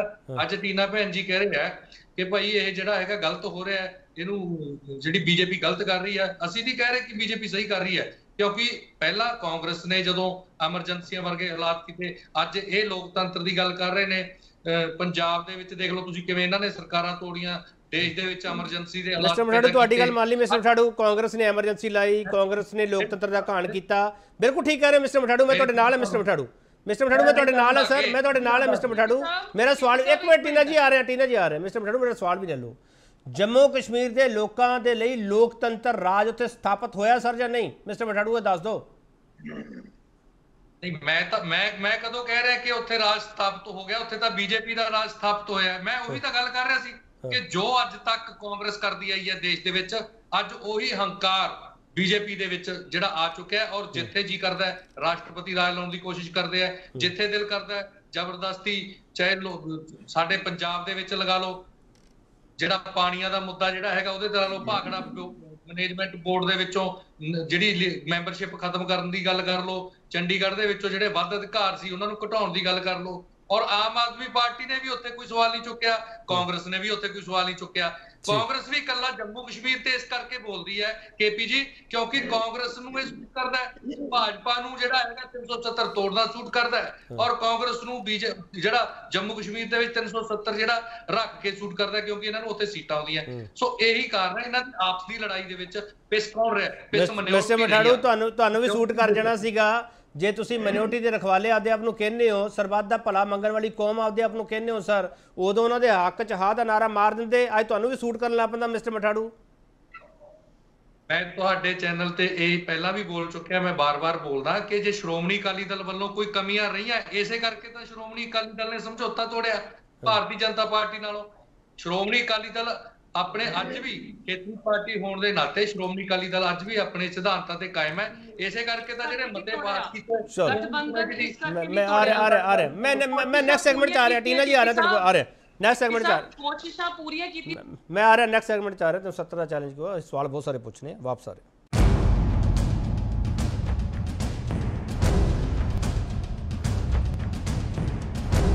मैं चुनौती देता हूं हिंदुस्तान की कोई पॉलिटिकल पार्टी वो तीन सौ सत्तर को वापस लाएंगे ਇੱਕ ਵਾਰ ਫਿਰ ਤੁਹਾਡਾ ਸਵਾਗਤ ਕਰਦੇ ਹਾਂ ਤੇ ਵੱਡਾ ਸਵਾਲ ਅਸੀਂ ਇਹ ਪੁੱਛ ਰਹੇ ਹਾਂ ਪ੍ਰਧਾਨ ਮੰਤਰੀ ਮੋਦੀ ਦੀ ਗਿਣਤੀ ਮਿੰਤੀ 370 ਵਾਲੀ ਚੁਣੌਤੀ ਦੇ ਮਾਇਨੇ ਕੀ ਹੈ ਅ, ਮੈਂ ਡਾਕਟਰ ਸਿੰਘ ਤੁਹਾਡੇ ਤੋਂ ਵਾਰ-ਵਾਰ ਕਾਂਗਰਸ ਇਹ ਸਵਾਲ ਕਰਦੀ ਪਈ ਹੈ ਜਿਹੜਾ ਸਟੇਟਹੁੱਡ ਰੀਸਟੋਰ ਕਰਨ ਵਾਲਾ ਪ੍ਰਧਾਨ ਮੰਤਰੀ ਸਾਹਿਬ ਨੇ ਉੱਥੇ ਵੀ ਇਸ, ਅ, ਆਪਦੇ ਸੰਬੋਧਨ ਵਿੱਚ ਕਿਹਾ ਵੀ ਰੀਸਟੋਰ ਕਰ ਦਾਂਗੇ ਤੇ ਸਰ ਤੋੜਿਆ ਕਿਉਂ ਸੀਗਾ ਫਿਰ ਆ ਦੇਖੋ ਕੇਪੀ ਜੀ ਲਾਅ ਐਂਡ ਆਰਡਰ ਔਰ ਉੱਥੇ ਜਿਹੜੀ ਜਿਵੇਂ ਕਿ ਆਪਾਂ ਜਾਣਦੇ ਆ ਉਹ ਇੱਕ ਬਾਰਡਰ ਸਟੇਟਸ ਨੇ, China, Pakistan and Pakistan occupied Kashmir ਔਰ ਅਫਗਾਨਿਸਤਾਨ ਲੱਗਦੀਆਂ ਬਾਰਡਰ ਸਟੇਟਸ ਨੇ ਔਰ ਉੱਥੇ ਜਦੋਂ ਇੱਕ ਨਵਾਂ 3 370 ਆਰਟੀਕਲ ਨੂੰ ਅਸੀਂ ਹਟਾਇਆ, ਤਾਂ ਇਹ ਉਹੀ ਕਾਂਗਰਸ ਹੈ ਜਿਹੜੀ ਜ਼ੋਰ ਜ਼ੋਰ ਨਾਲ ਕਹਿੰਦੀ ਹੁੰਦੀ ਸੀ, ਜਾਂ ਇਹਨਾਂ ਦੇ ਸਾਥੀ ਕਹਿੰਦੇ ਤੇ ਖੂਨ ਕੀ ਨਦੀਆਂ ਬਹਿ ਜਾਏਗੀ, ਇਹ ਅਗਰ ਹਟ ਗਿਆ ਔਰ ਇੱਕ ਵੀ ਗੋਲੀ ਨਹੀਂ ਚੱਲੀ ਔਰ ਇੱਕ ਵੀ ਕਿਸੇ ਦੀ ਜਾਨ ਨਹੀਂ ਗਈ। ਸੋ ਬੜੀ ਮੈਨੇਜ ਜਿਹੜੀ ਮੈਨੇਜਮੈਂਟ ਕਰਨੀ ਸੀ, ਉਹ ਇਸ ਕਰਕੇ ਸਾਨੂੰ ਜੇ ਕੁਝ ਪੁਖਤਾ ਕਦਮ ਲੈਣੇ ਪਏ ਔਰ ਉਹ ਲਏ ਔਰ ਉਸ ਦਾ ਨਤੀਜਾ ਅੱਜ ਇਹ ਹੈ ਕਿ ਜੰਮੂ ਕਸ਼ਮੀਰ ਖੁਸ਼ਹਾਲ ਹੈ ਡਿਵੈਲਪਡ ਹੈ ਔਰ ਬਹੁਤ ਜਿਹਨੂੰ ਕਹਿੰਦੇ ਅੱਜ ਜੰਨਤ ਹੈ ਸਾਡੇ ਦੇਸ਼ ਦਾ ਮਾਣ ਬਣਿਆ ਹੋਇਆ ਹੈ ਜੰਮੂ ਐਂਡ ਕਸ਼ਮੀਰ। ਔਰ ਉਸ ਦੇ ਨਾਲ ਹੀ ਜਿਹੜੀ ਗੱਲ ਕਰ ਰਿਹਾ ਸੀ ਕਿ ਕਸ਼ਮੀਰ ਦੇ ਵਿੱਚ ਇਸ ਤਰ੍ਹਾਂ ਹੋ ਗਿਆ ਇਸ ਤਰ੍ਹਾਂ ਹੋ ਗਿਆ ਇਹਨਾਂ ਵੇਲੇ ਤਾਂ ਕਸ਼ਮੀਰ ਖੋਲਿਆ ਵੀ ਨਹੀਂ ਹੁੰਦਾ। ਜਦੋਂ ਵੀ ਜਾਂਦੇ ਹੁੰਦੇ ਸੀ ਤੇ ਕਸ਼ਮੀਰ ਹਮੇਸ਼ਾ ਲਾਲ ਚੌਂਕ ਜਾਂ ਜਿਹੜੀ ਚੌਂਕ ਲ- ਲਦਾਖ ਦਾ ਕੀ। ਹਾਲ ਹੈ? ਡਾਕਟਰ ਥਿੰਦ ਲਦਾਖ ਦਾ ਕੀ ਹਾਲ ਹੈ ਜਿਹੜਾ ਚਾਈਨਾ ਨਾਲ ਲੱਗਦਾ ਸਾਡਾ ਪਾਰਟ ਬਿਲਕੁਲ ਦੇਖੋ ਜੀ ਉਹ ਕਾਂਗਰਸ ਦੀ ਮੈਂ ਕਹਿੰਦਾ ਨਲਾਇਕੀ ਸੀ ਕਿ ਜਿਹੜਾ ਸਾਡੀ ਇੰਨੀ ਮਹਿੰਗੀ ਜ਼ਮੀਨ ਸਰ ਕਾਂਗਰਸ ਦੀ ਨਲਾਇਕੀ ਤਾਂ ਰਹੀ ਹੈ ਸਰ ਸਾਰੀ ਦੁਨੀਆ ਨੂੰ। ਪਤਾ ਡਾਕਟਰ ਥਿੰਦ ਅੱਜ ਜਿਹੜੇ ਉੱਥੇ ਪ੍ਰੋਟੈਸਟ ਹੋ ਰਹੇ ਸਰ ਉਹਦਾ ਜਵਾਬ ਵੀ ਦੇ ਦਿਓ ਨਾ ਡਾਕਟਰ ਥਿੰਦ। ਕਾਂਗਰਸ ਦੀ ਨਲਾਇਕੀ ਦੀ ਸਾਰੀ ਦੁਨੀਆ ਨੂੰ ਪਤਾ ਸਰ। ਏਪੀ ਜੀ ਹਰ ਇੱਕ ਚੀਜ਼ ਹਰ ਇੱਕ ਚੀਜ਼ ਦਾ ਜਵਾਬ ਜਿਹੜਾ ਹੁਣ ਇਲੈਕਸ਼ਨ ਆ ਗਈ ਹੈ ਔਰ ਜਨਤਾ ਦੇਗੀ ਔਰ ਜਿਹੜੀ ਗੱਲ ਯੂਟੀ ਦੀ ਕਾਰਨ ਹੈ ਵੋਟਾਂ ਦਾ ਹੱਕ ਹੋਇਆ ਮੈਂਬਰ ਪਾਰਲੀਮੈਂਟ ਦੇ ਵੋਟਾਂ ਹੁਣ ਹੋਣਗੀਆਂ ਉਹਨਾਂ ਨੂੰ ਮਿਲੇਗਾ। ਕੀ ਗੱਲ ਜਦੋਂ ਚੰਡੀਗੜ੍ਹ ਨੂੰ ਯੂਟੀ ਬਣਾਇਆ ਗਿਆ ਸੀ ਕਾਂਗਰਸ ਨੇ ਉਹਦਾ ਕਾਂਗਰਸ ਦੇ ਜਿਹੜਾ ਚੰਡੀਗੜ੍ਹ ਦੇ ਲੋਕਾਂ ਦੇ ਕੋਲ VOTING ਦਾ ਹੱਕ ਖੋਲਿਆ ਸੀ ਇਹ ਸਿਰਫ ਤੇ ਸਿਰਫ ਕਾਂਗਰਸ ਦਾ ਗੁੰਮਰਾਹ ਕਰਨ ਦਾ ਤਰੀਕਾ ਹੈ ਚਲੋ ਟੀਨਾ ਚੌਧਰੀ ਸਿੱਧਾ ਸਿੱਧਾ ਕਹਿ ਰਹੀ ਹੈ ਡਾਕਟਰ ਸਿੰਘ ਇੱਕ ਮਿੰਟ ਉਹ ਸਿੱਧਾ ਸਿੱਧਾ ਕਹਿ ਰਹੇ ਗੁੰਮਰਾਹ ਕਰ ਰਹੇ ਹੋ ਤੁਸੀਂ ਜੋ ਉਹਨਾਂ ਨੇ ਕੀਤਾ ਜੰਮੂ ਕਸ਼ਮੀਰ ਦੇ ਲੋਕ ਫੈਸਲਾ ਕਰ ਦੇਣਗੇ ਟੀਨਾ ਚੌਧਰੀ। ਚੰਡੀਗੜ੍ਹ ਔਰ ਲਦਾਖ ਅਸੀਂ ਇਹਨਾਂ ਦੋਨਾਂ ਨੂੰ ਕਿਸ ਤਰ੍ਹਾਂ ਕੰਪੇਅਰ ਕਰ ਸਕਦੇ ਹਾਂ? ਕਿਆ ਉੱਥੋਂ ਦੀ ਲੋਕਲ ਜਿਹੜੇ ਉੱਥੋਂ ਦੀ এনवायरमेंट ਜੋ ਸਟਰਕਚਰ ਹੈਗਾ ਕਿਆ ਚੰਡੀਗੜ੍ਹ ਦੇ ਨਾਲ ਮੈਚ ਕਰਦਾ? ਉੱਥੋਂ ਸਾਰੇ ਪਾਸੇ ਤੇ ਪਹਾੜ ਨੇ ਬੰਜਰ ਪਹਾੜ ਨੇ ਔਰ ਉੱਥੋਂ ਦੇ ਲੋਕ ਇਹੀ ਡਿਮਾਂਡ ਕਰ ਰਹੇ ਨੇ ਸ਼ਡਿਊਲ 6 ਦੀ ਡਿਮਾਂਡ ਕਰ ਰਹੇ ਨੇ। ਜਿੱਥੇ ਅਸੀਂ ਉਹਨਾਂ ਨੂੰ ਕਹਿੰਦੇ ਆ ਆਟੋਨੋਮਸ ਡਿਸਟ੍ਰਿਕਟ ਕਾਉਂਸਲ ਦੀ ਡਿਮਾਂਡ ਕਰ ਰਹੇ ਨੇ। ਇਹ ਚਾਹੁੰਦੇ ਨੇ ਕਿ ਉੱਥੇ ਬਿਊਰੋਕ੍ਰੇਸੀ ਸਾਰੇ ਲਦਾਖ ਉਸ ਨੂੰ ਹੈਂਡਲ ਕਰੇ। ਜਿਸ ਤਰ੍ਹਾਂ ਅਸੀਂ ਇੱਕ ਐਗਜ਼ਾਮਪਲ ਦੇਖੀ ਹੋਏਗੀ ਕਿ ਇੱਕ ਆਈਏਐਸ ਆਫੀਸਰ ਕਿਸ ਤਰ੍ਹਾਂ ਦੇ ਨਾਲ ਇੱਕ ਸਟੇਡੀਅਮ ਦੇ ਵਿੱਚ ਸੈਰ ਕਰਨ ਲਈ ਆਪਣੇ ਕੁੱਤੇ ਨੂੰ ਨਾਲ ਲੈ ਕੇ ਪੈਟ ਨੂੰ ਨਾਲ ਲੈ ਕੇ ਉੱਥੇ ਸੈਰ ਕਰ ਰਹੇ ਸੀ ਸਾਰੇ ਮੁਲਾਜ਼ਮ ਬਾਹਰ ਕੱਢ ਗਏ ਕਿ ਅਸੀਂ ਮੈਂ ਔਰ ਮੇਰੀ ਵਾਈਫ ਅੰਦਰ ਸੈਰ ਕਰ ਰਹੇ ਹਾਂ ਇੱਥੇ ਅੰਦਰ ਕੋਈ ਨਾ ਆਏ। ਇਸ ਤਰ੍ਹਾਂ ਦੀ ਡਿਕਟੇਟਰਸ਼ਿਪ ਲਦਾਖ ਦੇ ਉੱਤੇ ਥੋਪਣ ਦੀ ਕੋਸ਼ਿਸ਼ ਕੀਤੀ ਜਾ ਰਹੀ ਹੈ। ਤੇ ਬਿਊਰੋਕ੍ਰੇਸੀ ਕੋਈ ਲੋਕਾਂ ਦੇ ਚੁਣੇ ਹੋਏ ਬੰਦੇ ਨਹੀਂ ਹੁੰਦੇ ਉਹ ਐਗਜ਼ਾਮ ਕਲੀਅਰ ਕਰਕੇ ਆਏ ਹੁੰਦੇ ਨੇ। ਔਰ ਤੁਸੀਂ ਚਾਹੁੰਦੇ ਹੋ ਕਿ ਉੱਥੇ ਚੁਣਿੰਦਾ ਲੀਡਰ ਅੱਗੇ ਆ ਕੇ ਕੰਮ ਨਾ ਕਰ ਸਕਣ ਕੋਈ ਉੱਥੇ ਮੁੱਦੇ ਨਾ ਚੁੱਕ ਸਕੇ। ਉਹ ਤਾਂ ਚਾਹੁੰਦੇ ਨੇ ਕਿ ਸਾਰੇ ਡਿਸਟ੍ਰਿਕਟ ਲੈਵਲ ਤੇ ਆਪਣੇ ਕਨਸਟੀਟਿਊਸ਼ਨ ਬਣਾ ਸਕੀਏ ਤਾਂ ਕਿ ਕੋਈ ਪਾਰਲੀਮੈਂਟ ਤੇ ਜਾ ਕੇ ਮੁੱਦਾ ਤਾਂ ਚੁੱਕਿਆ ਜਾ ਸਕੇ ਲੇਕਿਨ ਤੁਸੀਂ ਉਹਨਾਂ ਨੂੰ ਵੀ ਹੱਕ ਨਹੀਂ ਦੇ ਰਹੇ। ਤੁਸੀਂ ਉੱਥੇ ਵੀ ਪ੍ਰਾਈਵੇਟਾਈਜੇਸ਼ਨ ਲੈ ਕੇ ਆਉਣ ਦੀ ਕੋਸ਼ਿਸ਼ਾਂ ਕਰ ਰਹੇ ਹੋ ਜਿੱਥੇ ਇੰਨਾ ਕਸ਼ਟ ਸਿਆ ਉਹਨਾਂ ਲੋਕਾਂ ਨੇ ਬੰਜ਼ਰ ਜ਼ਮੀਨਾਂ ਦੇ ਉੱਤੇ ਪਾਣੀ ਵੀ ਲੈਣ ਜਾਣਾ ਹੋਏ ਤੇ ਕਿਲੋ ਕਿਲੋਮੀਟਰ ਦੂਰੀ ਤੱਕ ਉਹਨਾਂ ਨੂੰ ਪਾਣੀ ਲੈਣ ਜਾਣਾ ਪੈਂਦਾ ਹੈ। ਤੇ ਅੱਜ ਐਸੇ ਹਾਲਾਤਾਂ ਦੇ ਵਿੱਚ ਉਹਨਾਂ ਨੂੰ ਵੀ ਤੁਸੀਂ ਮਜਬੂਰ ਕਰ ਦਿੱਤਾ ਚਲ, ਠੀਕ, 22 ਠੀਕ। ਦਿਨ ਤੱਕ ਲਗਾਤਾਰ ਉੱਥੇ ਭੁੱਖ ਹੜਤਾਲ ਚੱਲਦੀ ਰਹੀ ਸਾਡੇ ਦੇਸ਼ ਦੇ ਪ੍ਰਧਾਨ ਮੰਤਰੀ ਜੀ ਨੇ ਇੱਕ ਵੀ ਸਟੇਟਮੈਂਟ ਉਹਨਾਂ ਦੇ ਹੱਕ 'ਚ ਨਹੀਂ ਦਿੱਤੀ ਠੀਕ, ਠੀਕ। ਕੋਈ ਮਿਸਟਰ ਮਠਾੜੂ, ਠੀਕ, ਕਿਸੇ ਮਿਸਟਰ ਮਠਾੜੂ। ਨੂੰ ਕਵਰ ਕਰਨ ਦੀ ਕੋਸ਼ਿਸ਼ ਤੱਕ ਨਹੀਂ ਮਿਸਟਰ। ਮਠਾੜੂ ਲਾਸਟ ਸਟੇਟਮੈਂਟ ਤੁਹਾਡੀ ਚਾਹੀਦੀ ਮਿਸਟਰ ਮਠਾੜੂ ਮਿਸਟਰ ਮਠਾੜੂ ਤੁਸੀਂ ਉੱਥੇ ਸੀਟਾਂ ਮੰਗਦੇ ਪਏ ਸੀਗੇ ਸਿੱਖਾਂ ਸਿੱਖਾਂ ਦੇ ਲਈ ਰਾਫਾ ਕਰਨ ਮੰਗਦੇ ਪਏ ਸੀਗੇ ਮਿਸਟਰ ਮਠਾੜੂ ਉੱਥੇ ਜਿਹੜੀ ਮਿਨੋਰਟੀ ਦੀ ਰਖਵਾਲੀ ਦੀ ਤੁਸੀਂ ਗੱਲ ਕਰਦੇ ਹੋ ਜਿਹੜੀ ਉੱਥੋਂ ਦੀ ਜਿਹੜੀ ਸਾਡੇ ਦੇਸ਼ ਦੀ ਮਿਨੋਰਟੀ ਆ ਮੁਸਲਿਮ ਭਾਈਚਾਰਾ ਜਿਹੜੀ ਮਿਨੋਰਟੀ ਦੀ ਤੁਸੀਂ ਰਖਵਾਲੀ ਦੀ ਗੱਲ ਕਰਦੇ ਹੋ ਸਿੱਖ ਭਾਈਚਾਰਾ ਸਰ ਉਹ ਦੋਨੋਂ ਸੁਰੱਖਿਅਤ ਆ ਉੱਥੇ ਮਿਸਟਰ ਮਠਾੜੂ ਮੈਂ ਤੁਹਾਨੂੰ ਕਲੀਅਰ ਕੱਟ ਪਹਿਲਾਂ ਹੀ ਗੱਲ ਕਹਿ ਚੁੱਕਿਆ ਕਿ ਜੋ ਪਹਿਲਾਂ ਕਾਂਗਰਸ ਮਿਨੋਰਟੀ ਦੀ ਦੁਸ਼ਮਣ ਸੀ ਅੱਜ ਭਾਜਪਾ ਬਣੀ ਹੋਈ ਹੈ। ਮੈਂ ਕਦੋਂ ਕਿਹਾ ਕਿ ਉੱਥੇ ਮਿਨੋਰਟੀ ਜਿਹੜੀ ਮਿਨੋਰਟੀ ਤਾਂ ਪੰਜਾਬ ਦੇ ਵਿੱਚ ਵੀ ਪੰਜਾਬ ਦੇ ਵਿੱਚ ਸਿੱਖ ਮੈਜੋਰਟੀ ਦੇ ਵਿੱਚ ਹੈ। ਪੰਜਾਬ ਦੇ ਵਿੱਚ ਵੀ ਸਿੱਖ ਮਹਿਫੂਜ਼ ਨਹੀਂ ਹੈ ਪੰਜਾਬ ਦੇ ਵਿੱਚ ਵੀ ਸਿੱਖਾਂ ਨਾਲ ਧੱਕਾ ਕੀਤਾ ਜਾ ਰਿਹਾ ਹੈ। ਤੁਸੀਂ ਸੱਤਾ 'ਚ ਨਹੀਂ ਹੈਗੇ ਤਾਂ ਪੰਜਾਬ ਵਿੱਚ ਸਿੱਖ ਮਹਿਫੂਜ਼ ਨਹੀਂ ਹੈਗੇ। ਮੈਂ ਤੁਸੀਂ ਮੈਂ ਉਹੀ ਤਾਂ ਗੱਲ ਹੈ ਨਾ ਸ਼੍ਰੋਮਣੀ ਅਕਾਲੀ ਦਲ ਖੇਤਰੀ ਪਾਰਟੀਆਂ ਜਿਹੜੀਆਂ ਦਿੱਲੀ ਦੀਆਂ ਪਾਰਟੀ ਅੱਜ ਤਾਂ ਇਹਨਾਂ ਨੇ ਚਲੋ ਮੈਂ ਕਹਿ ਰਿਹਾ ਉੱਥੇ ਜੀ ਚੀਨ ਲੱਗਦਾ ਹੈ ਉੱਥੇ ਪਾਕਿਸਤਾਨ ਲੱਗਦਾ ਹੈ ਉੱਥੇ ਜਿਹੜਾ ਹਾਲਾਤ ਠੀਕ ਨਹੀਂ ਸੀ ਇਸ ਕਰਕੇ ਕੱਲ ਨੂੰ ਆਪਾਂ ਇਹ ਪੰਜਾਬ ਨੂੰ ਕਹਿ ਦੇਣਗੇ ਜੀ ਪੰਜਾਬ ਬਾਰਡਰ ਸਟੇਟ ਹੈ ਪਾਕਿਸਤਾਨ ਲੱਗਦਾ ਹੈ ਜੀ ਪੰਜਾਬ ਦੇ ਨਾਲ ਪੰਜਾਬ ਦੇ ਵਿੱਚ ਬੜਾ ਖਤਰਾ ਹੈਗਾ ਇੱਥੇ ਮੂਵਮੈਂਟ ਚੱਲਦੀ ਹੈ ਸੋ ਇੱਥੇ ਵੀ ਆਪਾਂ ਲਾ ਦਈਏ ਜਿਵੇਂ ਪਹਿਲਾਂ ਕਾਂਗਰਸ ਨੇ ਲਾਇਆ ਸੀ। ਸੋ ਇਹ ਚੀਜ਼ਾਂ ਮੈਂ ਪਹਿਲਾਂ ਹੀ ਕਹਿ ਰਿਹਾ। ਇਹ ਚੀਜ਼ਾਂ ਨਹੀਂ ਹੋਣੀਆਂ ਚਾਹੀਦੀਆਂ। ਦੇਸ਼ ਦੀ ਜਿਹੜੀ ਸਰਕਾਰ ਹੁੰਦੀ ਹੈ ਉਸ ਨੂੰ ਉਵੇਂ ਕੰਮ ਕਰਨਾ ਚਾਹੀਦਾ ਹੈ ਜਿਵੇਂ ਦੇਸ਼ ਦੇ ਜਾਂ ਕਿਸੇ ਸੂਬੇ ਦੇ ਲੋਕ ਚਾਹੁੰਦੇ ਹੋਣ। ਇੱਥੇ ਲੋਕਤੰਤਰ ਬਣਿਆ ਰਹਿਣਾ ਚਾਹੀਦਾ ਡਾਕਟਰ ਖਾਲਿਦ ਜੀ ਲਾਸਟ ਸਟੇਟਮੈਂਟ ਲੈ ਲਈ ਫਿਰ ਚਰਚਾ ਸਮਾਪਤ ਕਰਾਂਗੇ ਡਾਕਟਰ ਖਾਲਿਦ ਸਰ ਪ੍ਰਧਾਨ ਮੰਤਰੀ ਸਾਹਿਬ ਦੇ ਸੰਬੋਧਨ ਤੇ ਉਹਦੇ ਵਿੱਚ ਆਰਟੀਕਲ 370 ਦਾ ਜ਼ਿਕਰ ਤੇ ਚੈਲੰਜ ਜਿਹਨੂੰ ਤੁਸੀਂ ਪ੍ਰਵੋਕ ਕਰ ਰਹੇ ਹੋ। ਮੇਰਾ ਸਵਾਲ ਹੈ ਡਾਕਟਰ ਖਾਲਿਦ ਇਹ ਪ੍ਰਧਾਨ ਮੰਤਰੀ ਦਾ ਇਹ ਸੰਬੋਧਨ ਹੈ ਪੰਜਾਬ ਦੀ ਪੋਲਿਟਿਕਸ ਨੂੰ ਇਨਫਲੂਐਂਸ ਕਰਦਾ ਹੈ ਜਾਂ ਨਹੀਂ ਦੇਖੋ ਇਸ ਵੇਲੇ ਪੰਜਾਬ ਦੀ ਪੋਲਿਟਿਕਸ ਨੂੰ ਤਾਂ ਇਹ ਚੀਜ਼ ਨਹੀਂ ਉਹ ਤਾਂ ਜਿਹੜੇ 400 ਪਾਰ ਦੀ ਗੱਲ ਕਰ ਰਹੇ ਉਹਦੇ ਵਿੱਚ ਪੰਜਾਬ ਵੀ ਸ਼ਾਮਿਲ ਹੈ ਹੂੰ। ਲੇਕਿਨ ਜਦ ਜੰਮੂ ਕਸ਼ਮੀਰ ਦੀ ਜਾਂ 300 ਆਰਟੀਕਲ 370 ਦੀ ਗੱਲ ਕਰਦੇ ਆ ਤਾਂ ਕਈ ਚੀਜ਼ਾਂ ਜਿਹੜੀਆਂ ਆਟੋਮੈਟਿਕਲੀ ਦਿਮਾਗ ਦੇ ਵਿੱਚ ਆਉਂਦੀਆਂ ਨੰਬਰ 1 ਸਾਰਿਆਂ ਨੂੰ ਪਤਾ ਹੋਣਾ ਚਾਹੀਦਾ ਹੈ ਕਿ ਜਿਹੜਾ ਕਸ਼ਮੀਰ ਆਪਾਂ ਦਿਖਾਉਨੇ ਆ ਨਕਸ਼ਾ ਉਹਦੇ ਚੋਂ ਸਿਰਫ 37% ਇੰਡੀਆ ਕੋਲ ਹੈ ਬਾਕੀ ਚਾਈਨਾ ਕੋਲ ਹੈ ਔਰ ਪਾਕਿਸਤਾਨ ਕੋਲ ਹੈ। ਇਹ ਵੀ ਕਲੀਅਰ ਹੈ ਕਿ ਜਿਹੜਾ ਕਸ਼ਮੀਰ ਸਾਡੇ ਕੋਲ ਹੈ ਹਾਈਲੀ ਮਿਲਟਰਾਈਜ਼ਡ ਵਰਲਡ ਦਾ ਸਭ ਤੋਂ ਮਿਲਟਰਾਈਜ਼ਡ ਅਗਰ ਜਿਹੜੇ ਜ਼ੋਨਸ ਹੈਗੇ ਆ ਉਹਨਾਂ ਵਿੱਚੋਂ ਇੱਕ ਜੰਮੂ ਐਂਡ ਕਸ਼ਮੀਰ ਹੈ। ਔਰ ਤੀਸਰੀ ਜਿਹੜੀ ਹੈਗੀ ਹੈ ਜਿਹੜੀ ਡਿਵੈਲਪਮੈਂਟ ਆਪਾਂ ਕਹਿੰਦੇ ਉੱਥੇ ਡਿਵੈਲਪਮੈਂਟ ਡਿਵੈਲਪਮੈਂਟ ਉੱਥੇ ਦੇ ਡਿਵੈਲਪਮੈਂਟ ਦੀ ਕਾਸਟ ਹੈ ਕਿਉਂਕਿ ਉੱਥੇ ਇਕੋ ਸੈਂਸਿਟਿਵ ਏਰੀਆ ਹੈਗਾ। ਇਕੋ ਸੈਂਸਿਟਿਵ ਏਰੀਆ ਦੇ ਵਿੱਚ ਜੇ ਤੁਸੀਂ ਅੰਨੇਵਾ ਜਿਹੜਾ ਹੋਟਲ ਖੋਲੋਗੇ ਹੋਰ ਕਰੋਗੇ ਤਾਂ ਉਹਦਾ ਪ੍ਰਭਾਵ ਜਿਹੜਾ ਹੈਗਾ ਉੱਥੇ ਦੇ এনवायरमेंट ਤੇ ਪਏਗਾ। ਉੱਥੇ ਲਦਾਖ ਦੇ ਵਿੱਚ ਜਿਹੜੀ ਹੜਤਾਲ ਚੱਲ ਰਹੀ ਹੈ ਉਹਦੀ ਇੱਕ ਮੇਨ ਵਜ੍ਹਾ ਇਹ ਹੈ ਵੀ ਕਾਰਪੋਰੇਟ ਨੂੰ ਉੱਥੇ ਮਾਈਨਿੰਗ ਵਾਸਤੇ ਕੰਟਰੈਕਟ ਦੇਣ ਦੀ ਤਿਆਰੀ ਹੋ ਰਹੀ ਹੈ।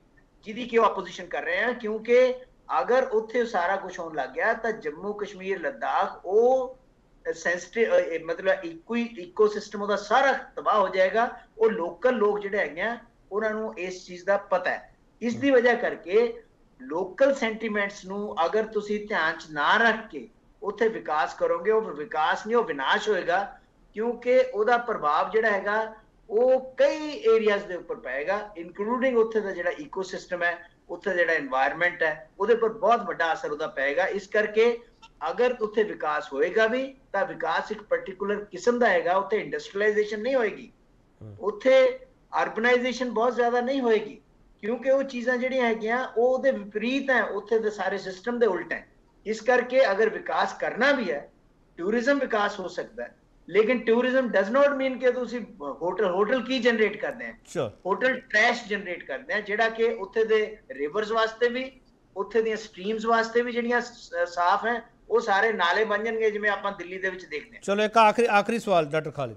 ਆਰਟੀਕਲ ਜੀ। 370 ਰੀਸਟੋਰ ਹੋਣਾ ਚਾਹੀਦਾ ਹੈ ਜਾਂ ਨਹੀਂ ਹੋਣਾ ਚਾਹੀਦਾ? ਵਾਟਸ ਯੂਰ ਟੇਕ ਦੇਖੋ ਜੀ ਆਰਟੀਕਲ 370 ਉੱਥੇ ਦੇ ਲੋਕ ਉੱਥੇ ਦੀ ਪੋਲੀਟੀਕਲ ਲੀਡਰਸ਼ਿਪ ਉੱਥੇ ਦੀਆਂ ਐਸਪੀਰੇਸ਼ਨਸ ਨੂੰ ਸਾਹਮਣੇ ਰੱਖ ਕੇ ਡੈਫੀਨਿਟਲੀ ਰੀਵਿਜ਼ਿਟ ਹੋਣਾ ਚਾਹੀਦਾ ਹੈ। ਬਹੁਤ ਬਹੁਤ ਧੰਨਵਾਦ ਡਾਕਟਰ ਖਾਲਿਦ ਤੁਹਾਡਾ ਟੀਨਾ ਚੌਧਰੀ ਤੁਹਾਡਾ ਮਿਸਟਰ ਮਠਾੜੂ ਤੁਹਾਡਾ ਡਾਕਟਰ ਸਿੰਘ ਤੁਹਾਡਾ ਸਾਰਿਆਂ ਦਾ ਬਹੁਤ ਧੰਨਵਾਦ।